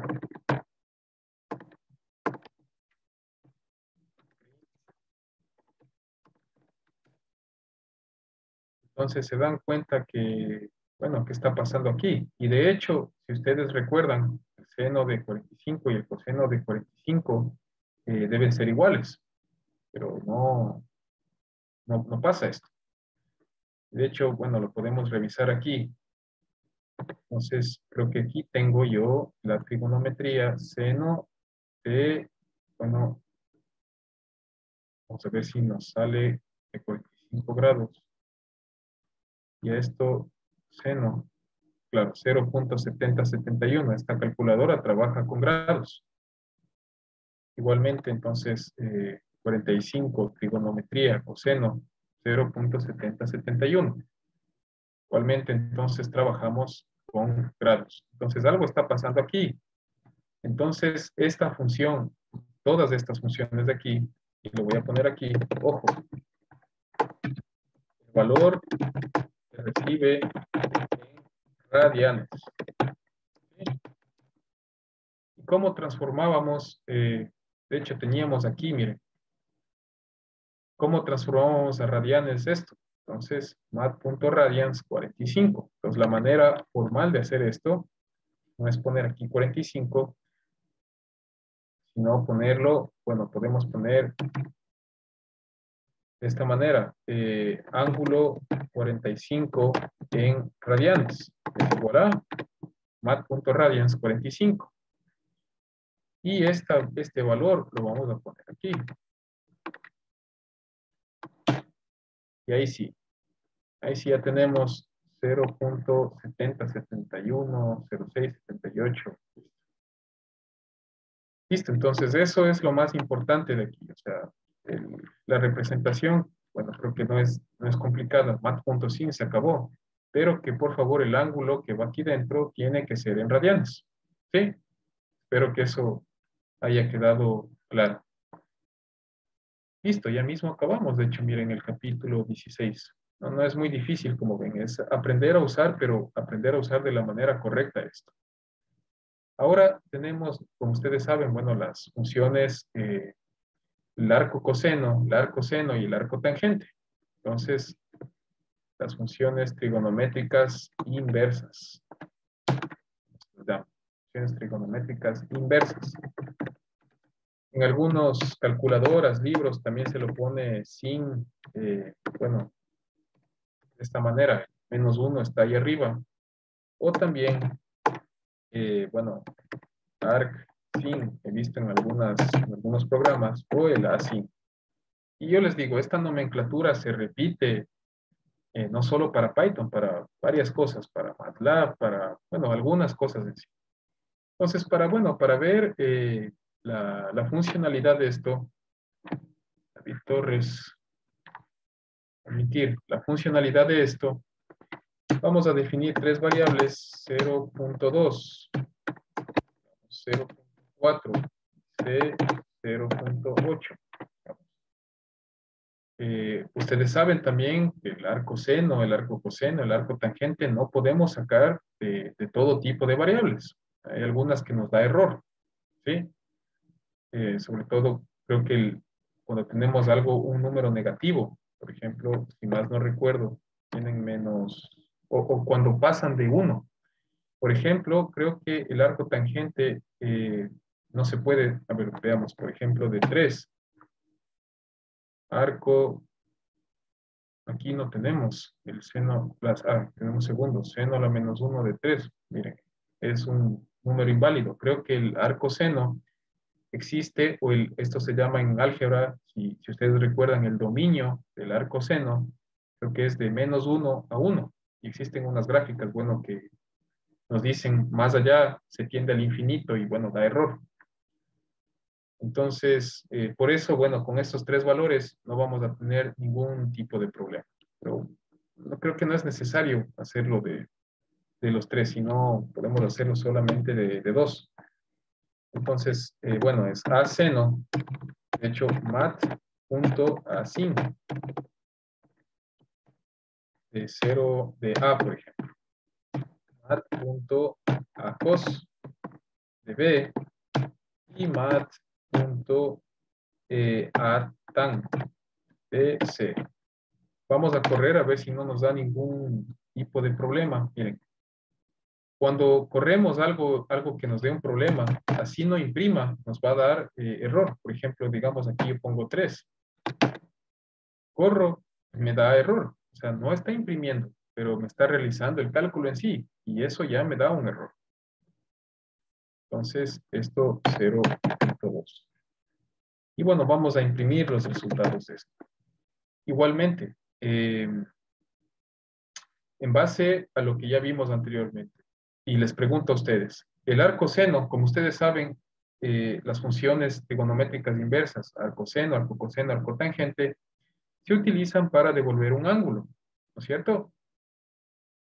Ahora, digamos, me, eh, yo quiero averiguar eh, un ángulo a partir de, estas funciones arco. Mi pregunta es, ¿me va a devolver el ángulo en grados o en radianes? En base a lo que ya hemos visto.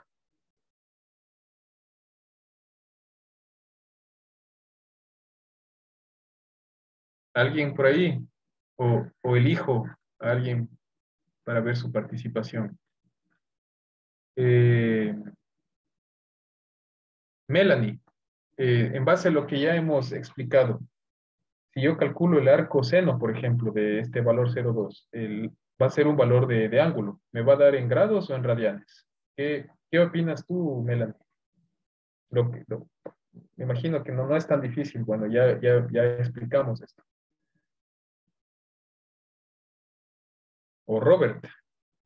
Bueno, los compañeros, alguien ya me escribió por aquí.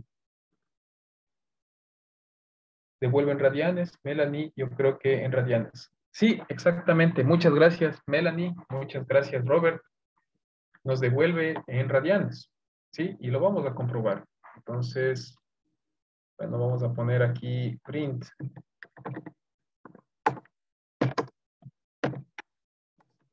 Igualmente acá. Aquí. Sí, estos son valores de radianes. Ahora yo quiero eh, estos valores eh, llevados a grados. Entonces también podemos hacer, ya saben, mat.igris. De hecho, lo voy a hacer de esta manera. Voy a poner aquí en radianes de esta manera.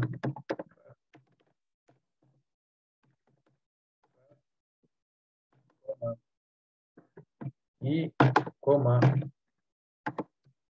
e. grado sería gris, gris con lo que tengo aquí dentro. Listo. Entonces podría yo borrar esto y ocupar esto de aquí.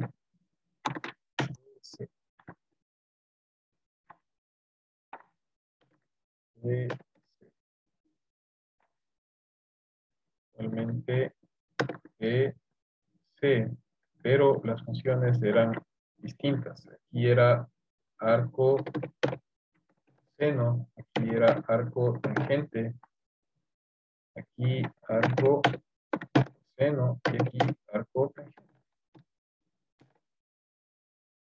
Listo, entonces estos serían, bueno, los valores de ángulos que estamos tratando de consultar. Listo, estos serían funciones trigonométricas, bueno, las normales, las inversas y, eh, bueno, finalmente lo que nos, la última parte es las funciones hiperbólicas. Igualmente las funciones hiperbólicas no trabajan con un dominio completo. Es que podemos poner, yo que sé, seno hiperbólico o arco seno hiperbólico de, yo no sé, de 500. Existen valores con los cuales nos va a dar cierto error. Pero vamos a hacer, eh, bueno, solamente para, a la final ustedes saben, es lo, es lo mismo nada más. Funciones trigonométricas y hiperbólicas.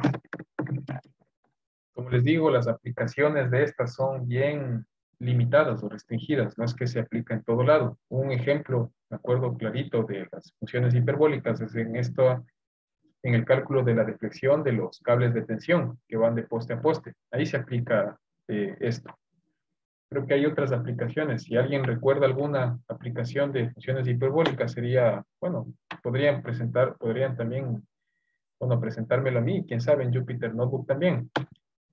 Eh, bueno, por ejemplo, vamos a definir una variable X. Este valor 1.1 no me da ningún problema. Entonces aquí simplemente, bueno, mat. La función hiperbólica es lo mismo, seno, pero con H, sin H. bueno, suena medio chistoso, pero sí, sin H. Eh, bar de X. Listo. Y mat.cosh de bar de X y mat.tan H bar de X. Podemos correr aquí simplemente de esta manera vemos que no nos da ningún error. Por ejemplo, si tenemos esto, como les digo, un valor 5, ahí se van a dar, bueno, igual nos coge, pero a veces no funciona con todas estas. Entonces aquí, bueno, print. Listo. Acá. Y aquí, bueno, voy a poner mi rotulado para acordarme siempre de esto cómo pongo una función hiperbólica en Python. Voy a borrar esto. Listo. Entonces, esta sería cos h. Tenemos que era así, lo misma definición de las funciones trigonométricas, pero aumentada la h al final. Cos y tan. Listo, entonces, bueno, aquí nos da. Y como ustedes saben, puedo redondear esto a cuatro cifras decimales. Ahora, eh, igualmente tenemos, son las eh, funciones eh, arco, seno, arco, coseno y arco tangente hiperbólico. Y estas sí, como les digo, no funcionan con todo tipo de valores. Entonces puedo, voy a definir, yo ya había consultado previamente, en algunas da error, por ejemplo, con una variable y 5.2 y una variable Z, digamos 0.65. Vamos a trabajar con esto. Pues prácticamente es, bueno, mat.sin. Y de hecho es arco, que es con la A, A sin H. A sin H. De Y. Mat.a cos H. Igualmente vamos a calcular de Y. Mat.a tan H. De Z. Es la función arco seno hiperbólico, arco coseno hiperbólico y arco tangente hiperbólico. Vamos a, correr el programa. Como ven, no, no me da ningún error. Ah, miren, el A sin H de Y. Hmm, este sí me está dando un error. Ah, perdón, pero aquí es par Y, par Y, y aquí es par Z. Par Z y si ya no me da ningún error. Entonces vamos a imprimir igualmente para acordarnos de esto. Print esto.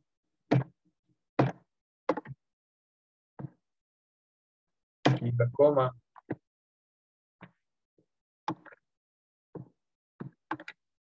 Listo. Y esto entre comillas.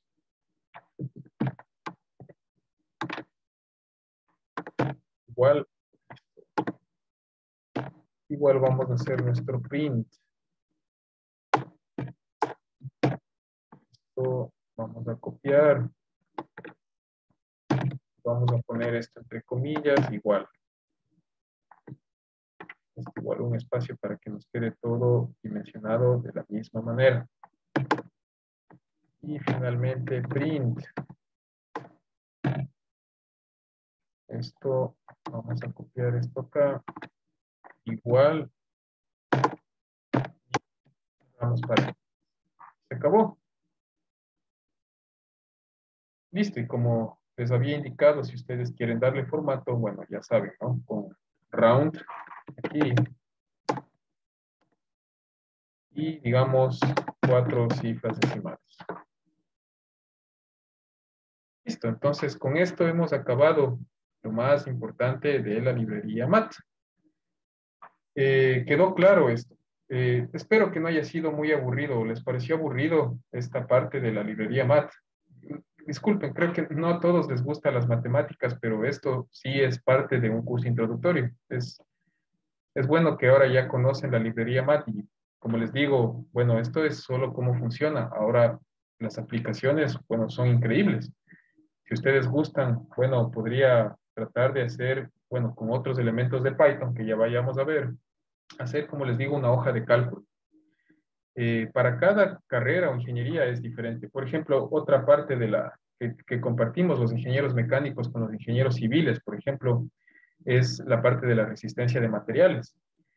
Y hay una parte que sí es, es algo que se puede hacer en Python. No sé si ustedes dan toda ingeniería, igual existe esta materia, los métodos eh, de los elementos finitos, los métodos numéricos.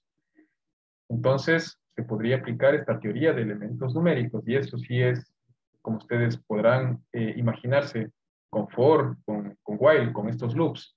Se puede hacer estos cálculos recursivos y recursivos para tratar de, de, bueno, esto se aplica en varias ramas, por ejemplo, en la transferencia de calor con métodos numéricos o también en la resistencia de materiales para determinar el esfuerzo permisible de un material. Y existen, bueno, aplicaciones eh, infinitas. ¿ya? Una vez que conocemos qué eh, herramientas matemáticas podemos utilizar, podemos hacer, bueno, varias cosas, de hecho. Vamos a ver, han escrito dos mensajes. Eh, Melanie, no, Mauricio, una pregunta, ¿dónde se pueden consultar el resto de funciones está y demás librerías? Como siempre, eh, Mauricio, Google, no, no, sé cómo más decírtelo, Google y librería MAT, y tú puedes ver todo lo que está. Y como siempre, en, las primeras slides, eh, yo había puesto eh, el link de la documentación oficial de Python, el python.org. Pues básicamente ahí puedes encontrar toda la librería, toda la información eh, que tienes de Python. Y si quieres algo más gráfico, YouTube. YouTube, librería Mat Python, puedes encontrar videos de 10 minutos, 3 horas, a veces hasta de 5 horas, que te explican a, a todo tipo de nivel lo que tú desees aprender sobre esto. Aquí, como les digo, es bueno darles de una manera general este tipo de, de conceptos. Y si ustedes desean profundizar, lo único que les puedo decir es que el Internet es, es infinito, está todo ahí. Y esta información que estoy presentando con ustedes ha sido pasada por tantos filtros, tantos cursos que he hecho de esto, que a la final he visto que eh, coinciden en estos puntos, eh, en lo que les estoy tratando de dar, y unas cosas adicionales que de hecho no se nombran. Por, por ejemplo, esto de Jupyter Notebook, bueno, tienen que hacer un curso de Jupyter Notebook para hacer eh, lo que hemos hecho, por ejemplo, el día de ayer pero la mayoría de cursos que he visto, bueno, ya sea de YouTube, de Udemy muchos más, se van directamente a un IDE como Sublime o, por ejemplo, Visual, Visual Studio Code o Anaconda y todo lo hacen con ese IDE y se acabó. Pero un curso que les ofrezca, digamos, vamos a hacer ahora con Sublime, ahora con Replit, eh, mañana con Anaconda, con David con Visual Studio y cosas así, eso es bueno, es por eso que este curso es especial, ¿sí? Porque estamos aprendiendo este tipo de, herramientas. Listo, entonces, para terminar, vamos a hacer una pequeña introducción, porque este, esta parte, y por eso también les pido por favor paciencia, como les digo, eh, hasta el día de ayer vimos cosas increíbles no significa que el curso va a tornarse aburrido, sino que por favor recuerden que el curso en sí se llama, no es aprender a programar en Python, sino Introducción al Computer Science, que es como establecer en ustedes las bases teóricas de la informática, de la ciencia computacional, obviamente a, a través de conceptos de programación, utilizando Python. Pero el objetivo es que ustedes puedan asimilar los conceptos básicos de la informática. Es por eso que necesitamos, y este curso es diseñado para eh, establecer esa base teórica. créanme, yo sé que la teoría no les gusta a nadie, pero le estoy tratando de hacer de la manera más simpática posible, que espero, eh, bueno, sea de su agrado. Y es eh, debido a esto que tenemos un capítulo teórico en esta, en esta sección, que es el capítulo 17, que es la construcción de diagramas de flujo.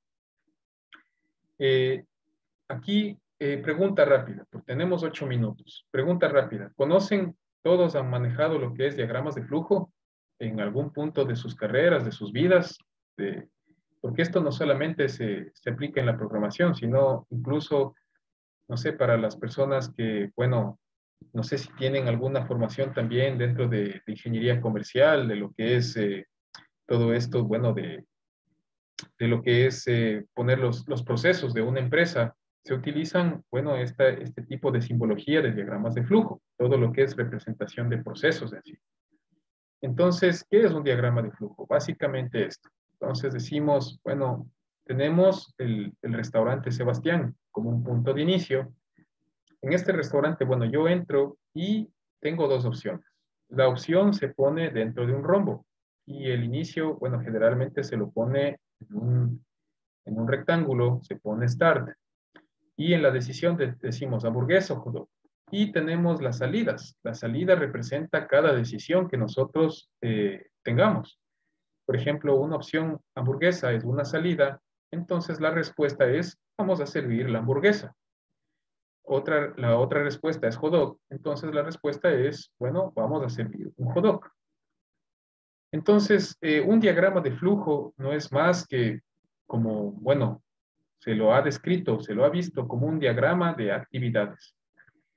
Es, es una manera gráfica de representar, de representar lo que es un algoritmo o un proceso.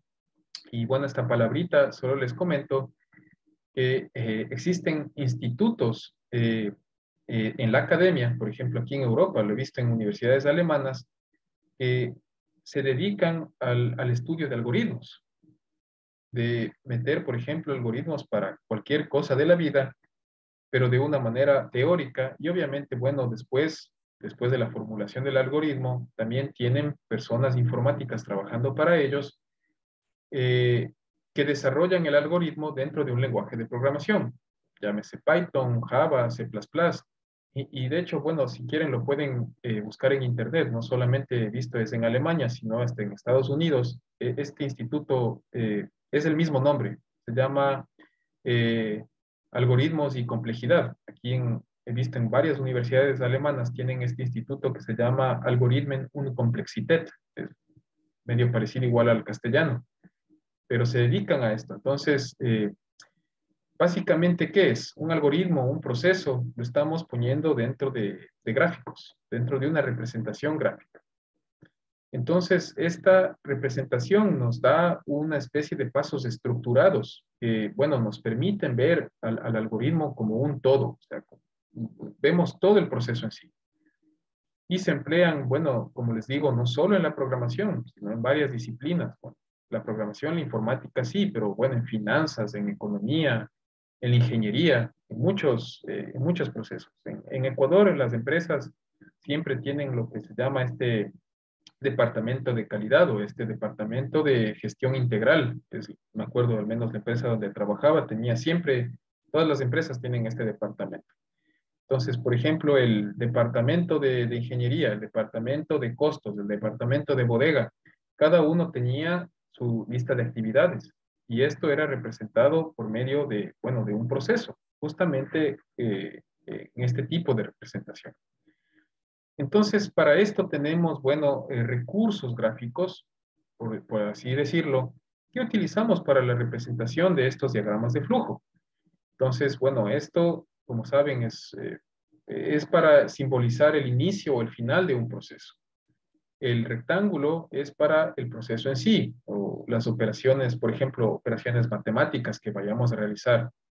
Eh, este es en geometría, creo que se llama romboide eh, o, trapezoide, no me acuerdo bien el nombre, disculpen si me equivoco. Esto es para simbolizar un input o output en un programa. Eh, el rombo sí, esto sí es una decisión. Eh, la decisión es, y, dentro de programación ya sabemos que la decisión se representa con el condicional o el if. Básicamente nos dice qué pasa, eh, si pasa algo o si no pasa, tenemos que, simbolizarlo con esta decisión. Las flechas simplemente, bueno, son, nos dan esta relación entre estos símbolos. Y bueno, este como conector dentro de página es cuando no les alcanza todo el, el diagrama de flujo en una hoja, lo pueden poner, por ejemplo, con una flecha, conectan a este círculo y dicen, esta es, eh, va a A, van a la siguiente hoja y ven nuevamente este círculo con la A y sigue su diagrama de flujo. Igualmente, bueno, aquí tienen este conector fuera de página que conecta, bueno, varias partes de, que se encuentran en diferentes hojas. Este es para cuando se encuentra en la misma hoja, cuando digamos tengo una decisión por aquí, una decisión en el otro lado de la hoja. Entonces, eh, bueno, existen, no vamos a entrar, como les digo, en detalle. El, objetivo del curso es darle, darles las bases o brindarles las bases de, de lo que vamos a ir realizando. Entonces, existen igual recomendaciones o normas para, para el uso o para la representación de diagramas de flujo. Por ejemplo, que solamente puede existir un inicio y un fin en un diagrama. No podemos poner dos de estos. Igualmente que los conectores de página interna tienen que referenciar con números. No podemos poner, yo qué sé, el círculo y digamos ZA o algo por el estilo. Eh, los conectores de páginas externas se referencian con letras de alfabeto. El flujo puede ser de arriba a abajo o de izquierda a derecha es, es el orden que, seguimos, igual como el orden que tenemos en nuestras hojas de código de Python. Y bueno, una, normativa importante es que las flechas no se pueden cruzar unas con otras. Como les digo, este aspecto de la calidad está implícito en muchos aspectos de, estudio, incluso en, en la informática, en cómo escriben un código e incluso en cómo representan un diagrama de procesos. Bueno, creo que el asunto de calidad está más que claro. Eh, no, hay, no existe empresa en el mundo que no tenga un departamento de calidad que ponga las reglas a las cosas que queremos hacer. Incluso, bueno, si más no estoy equivocado, eh, la, yo he conocido la mayoría eh, del campo de, de, aplicación o del campo de, de, trabajo del ingeniero químico, porque la mayoría de ustedes son ingenieros químicos, al, menos yo he visto, eh, la mayoría de ingenieros químicos están justamente en el área de, en el departamento de calidad, al menos en la empresa donde yo estaba, era la mayoría de ellos estaban justo, bueno, en la parte de calidad que evaluaban la, la formulación del, del, buen acero que se producía. otros, otra parte de ingenieros químicos estaban en la parte de calidad que regulaban todos los procesos de la planta. Entonces, creo que esto no es nuevo para ustedes. Ahora bien, eh, vamos a hacer, el objetivo de este capítulo es, vamos a hacer, no, no, no se demora mucho este capítulo, como ven, mañana, bueno, mañana no tenemos clase, perdón, el día martes, porque lunes tienen con David. Vamos a acabar de, hacer esto, vamos a ver un ejemplo de un diagrama de flujo en sí, y lo que vamos a hacer, y lo más importante de esto, es pasar del diagrama de flujo a un código Python. ¿Sí? Y de hecho, de esa misma manera tienen ustedes el deber. Eh, creo que yo les proporciono un diagrama de flujo y les digo, transfórmame eso a un código Python. Y después hay un deber también donde les doy el código y les digo, pásame a un eh, diagrama de flujo. Ahora me van a decir, Sebastián, ¿cómo hago? Los que ya conocen este tema, bueno, saben que un diagrama de flujo los, lo pueden hacer con Microsoft Visio, pero como saben, y, el objetivo también del curso es darles herramientas gratis online que puedan utilizar sin necesidad de instalar programas. Y aquí tienen este, esta herramienta web gratis para el diseño de diagramas de flujo que vamos a utilizar, es el Diagram Editor. Entonces le damos clic. Bueno, este es el, esta es la herramienta gratis. Entonces aquí tienen todos estos, simplemente es cuestión de arrastrar y digamos ponen un proceso, ponen una decisión y en cada punto tienen una conexión aquí. Entonces bajan la flecha, bajan la flecha acá. Aquí digamos, bueno, digamos tienen otra decisión aquí.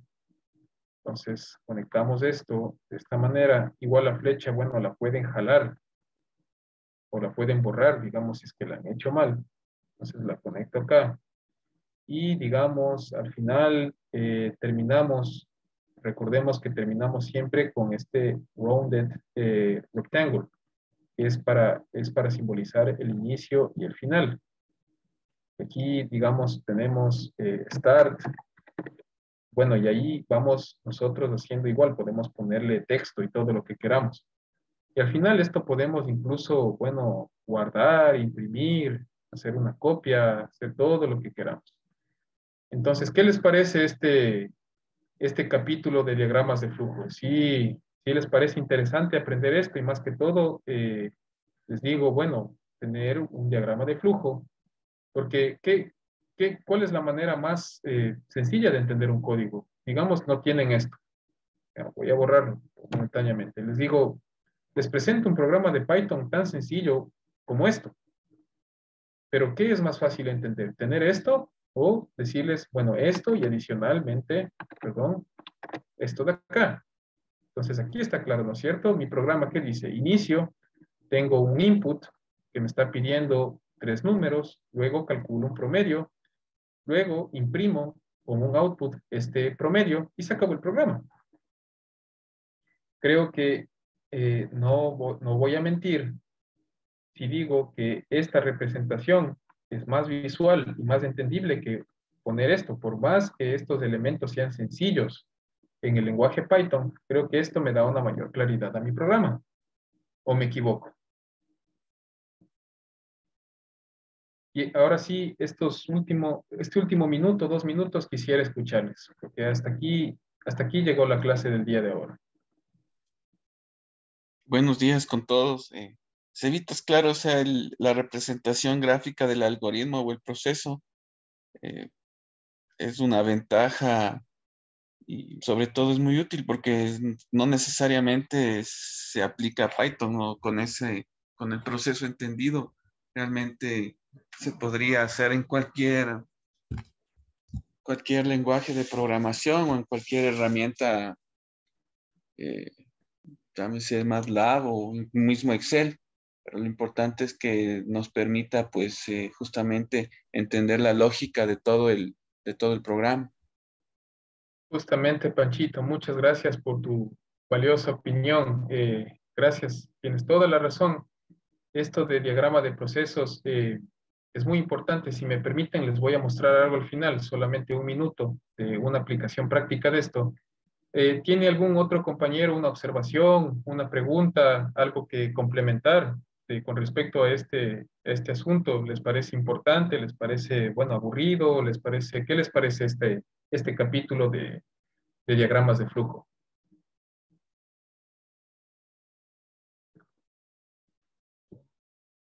Chevas, ¿cómo estás? Buenos, buenas tardes ya por allá. Buenas tardes, buenas tardes. No, a mí, a mí me parece súper interesante, súper importante la parte de los diagramas de flujo. De hecho, eh, digamos, siempre para hacer una mejora, eh, digamos, si se habla de mejora continua y todo esto, digamos, se, se, inicia con un diagrama de flujo para analizar una, o sea, qué, oportunidades de mejora hay en los procesos. Entonces, me parece súper interesante porque aquí podríamos eh, en, determinado, en determinada actividad introducir pues una, una, un script justo con Python, por ejemplo, y se automatizaría todo un, todo un, todo, toda una actividad de, de, de un proceso eh, de negocio, por ejemplo. Entonces me parece súper, súper, súper chévere que hayamos topado ese tema el día de hoy. Más bien, muchísimas gracias. Gracias, muchas gracias. Eh, no, no tengo aquí quién, quién habló. Creo que eres eh, Cristian. Sí. Sí, Cristian, perdón. Aquí no me sale quién está hablando. Qué pena. Pero bueno, gracias, Cristian. Muchas gracias. Eh, miren, para terminar, bueno, antes de, de, darle la palabra a otro compañero, les puedo, por ejemplo, mostrar yo, como les dije, también, bueno, eh, un estudio también adicional que hice cuando estuve trabajando en Nova Cero y, les voy a contar el por qué. Eh, al menos, y, qué pena decirlo de esta manera, es algo que ustedes también habrán escuchado. A los ingenieros que a veces salimos de la Politécnica, sobre todo a los que tenemos una, eh, una visión un rama de estudios demasiado eh, teórica, como por ejemplo ingeniería mecánica, electrónica, eléctrica o civil, eh, es, es como dicen un secreto a voces, que saben decir no tiene una formación orientada a empresas. Y es por eso que, bueno, no lo sé. La verdad, este tipo de, comentarios a veces eh, sí perjudica a uno al momento que al menos uno desea, no sé, postularse para cargos posiblemente más fuertes como una gerencia, más que ser el simple ingeniero, digamos, no sé, de, de un departamento. Entonces, en honor a eso, yo sí había realizado eh, este estudio de un MBA, que lo llaman, en, en, la, en, la, Pontificia Universidad Católica, y aquí aprendí algunas, muchísimas cosas. Y, y justamente esta tesis que, que realicé, y, y, se las muestro, bueno, eh, fue, les digo, al final, eh, tuve que hacer prácticamente el, diagrama de procesos de, toda la empresa en sí.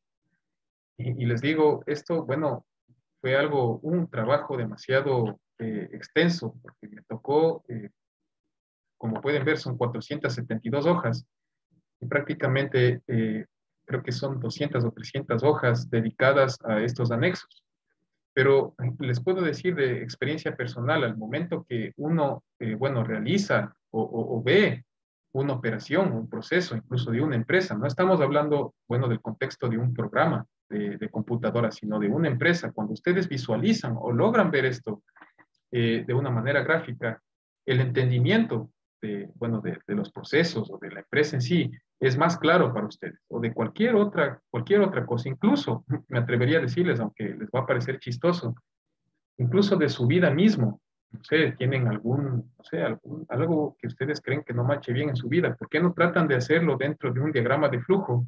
Y posiblemente van a, tener un mejor eh, entendimiento de qué es lo que está pasando por ahí. Tenemos un, un, un comentario de nuestro compañero Cristian, dice, hay una app que se llama Visagi, es muy buena para BPM y permite incluso automatizar varias actividades. Eh, muchas gracias por el aporte. Eh, si, puedes, por favor, Cristian, eh, al grupo de WhatsApp, nos podrías mandar este link de esta app o, bueno, o, o alguna información sobre esto. Me gustaría investigar. Te digo, bueno, no he hecho, a mí lo que me gusta a veces presentarles es bueno estas opciones gratis para hacer. Pero si tienen alguna mejor opción, ya saben, siempre estoy abierto a las, a las mejoras por parte de ustedes, porque como les digo, aquí aprendemos mutuamente, tanto bueno, ustedes de mí como también aspiro a aprender muchas cosas de ustedes. Entonces, eso sería todo. Discúlpenme, he pasado 10 minutos, pero espero que esta información haya sido importante y todo lo que se ha dicho en la clase de ahora. No se olviden que el día lunes, eh, creo que el horario ya quedó fijo, es de 2 a 4 de la tarde, las, las prácticas con David. Y, y, bueno, mi sugerencia es, por favor, estos tres eh, lunes que tienen el Tutor Café, asistan porque, bueno, como les digo, David ha preparado algo increíble para ustedes, no, no quiero revelar la sorpresa, él dijo que lo iba a hacer, me pica la lengua por decir, porque creo que ahí va a llamar por completo su atención, pero les puedo decir que se va a hacer una práctica increíble con David estos tres eh, lunes que, van a tener, y creo que eso no, no, existe desde mi punto de vista ser humano en este mundo que no se sienta feliz con, con lo que van a hacer con David desde el día lunes. Así que eso sería todo por mi parte. Nos veríamos el día martes a las seis de la tarde y bueno, eh, si tengo alguna explicación adicional o algo, ya saben, se las hago llegar por, por WhatsApp. Muchas gracias con todos, que tengan un lindo fin de semana, cuídense mucho, eh, valoren el tiempo con sus familias, con sus actividades, cuídense bastante. De nada, muchísimas gracias, Sami, muchísimas gracias de corazón. Cuídate mucho Muchas gracias, Melanie. Que tengas un hermoso día. Cuídate bastante. Muchísimas gracias por, tu, por sus mensajes, chicos. Gracias, Cristian. Gracias, Panchito. Muchísimas gracias, Cristian, por tu aportación también. Joao, mil gracias. Juan Carlos, mil gracias. Que tengan un hermoso fin de semana. Cuídense mucho.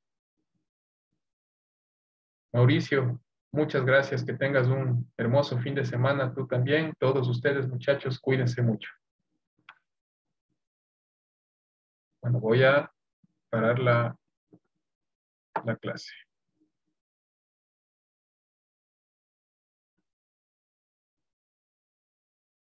A ver, eh, solamente... Eh, Eric, ¿está usted ahí? Si está... Eh, ¿Paro la grabación o...?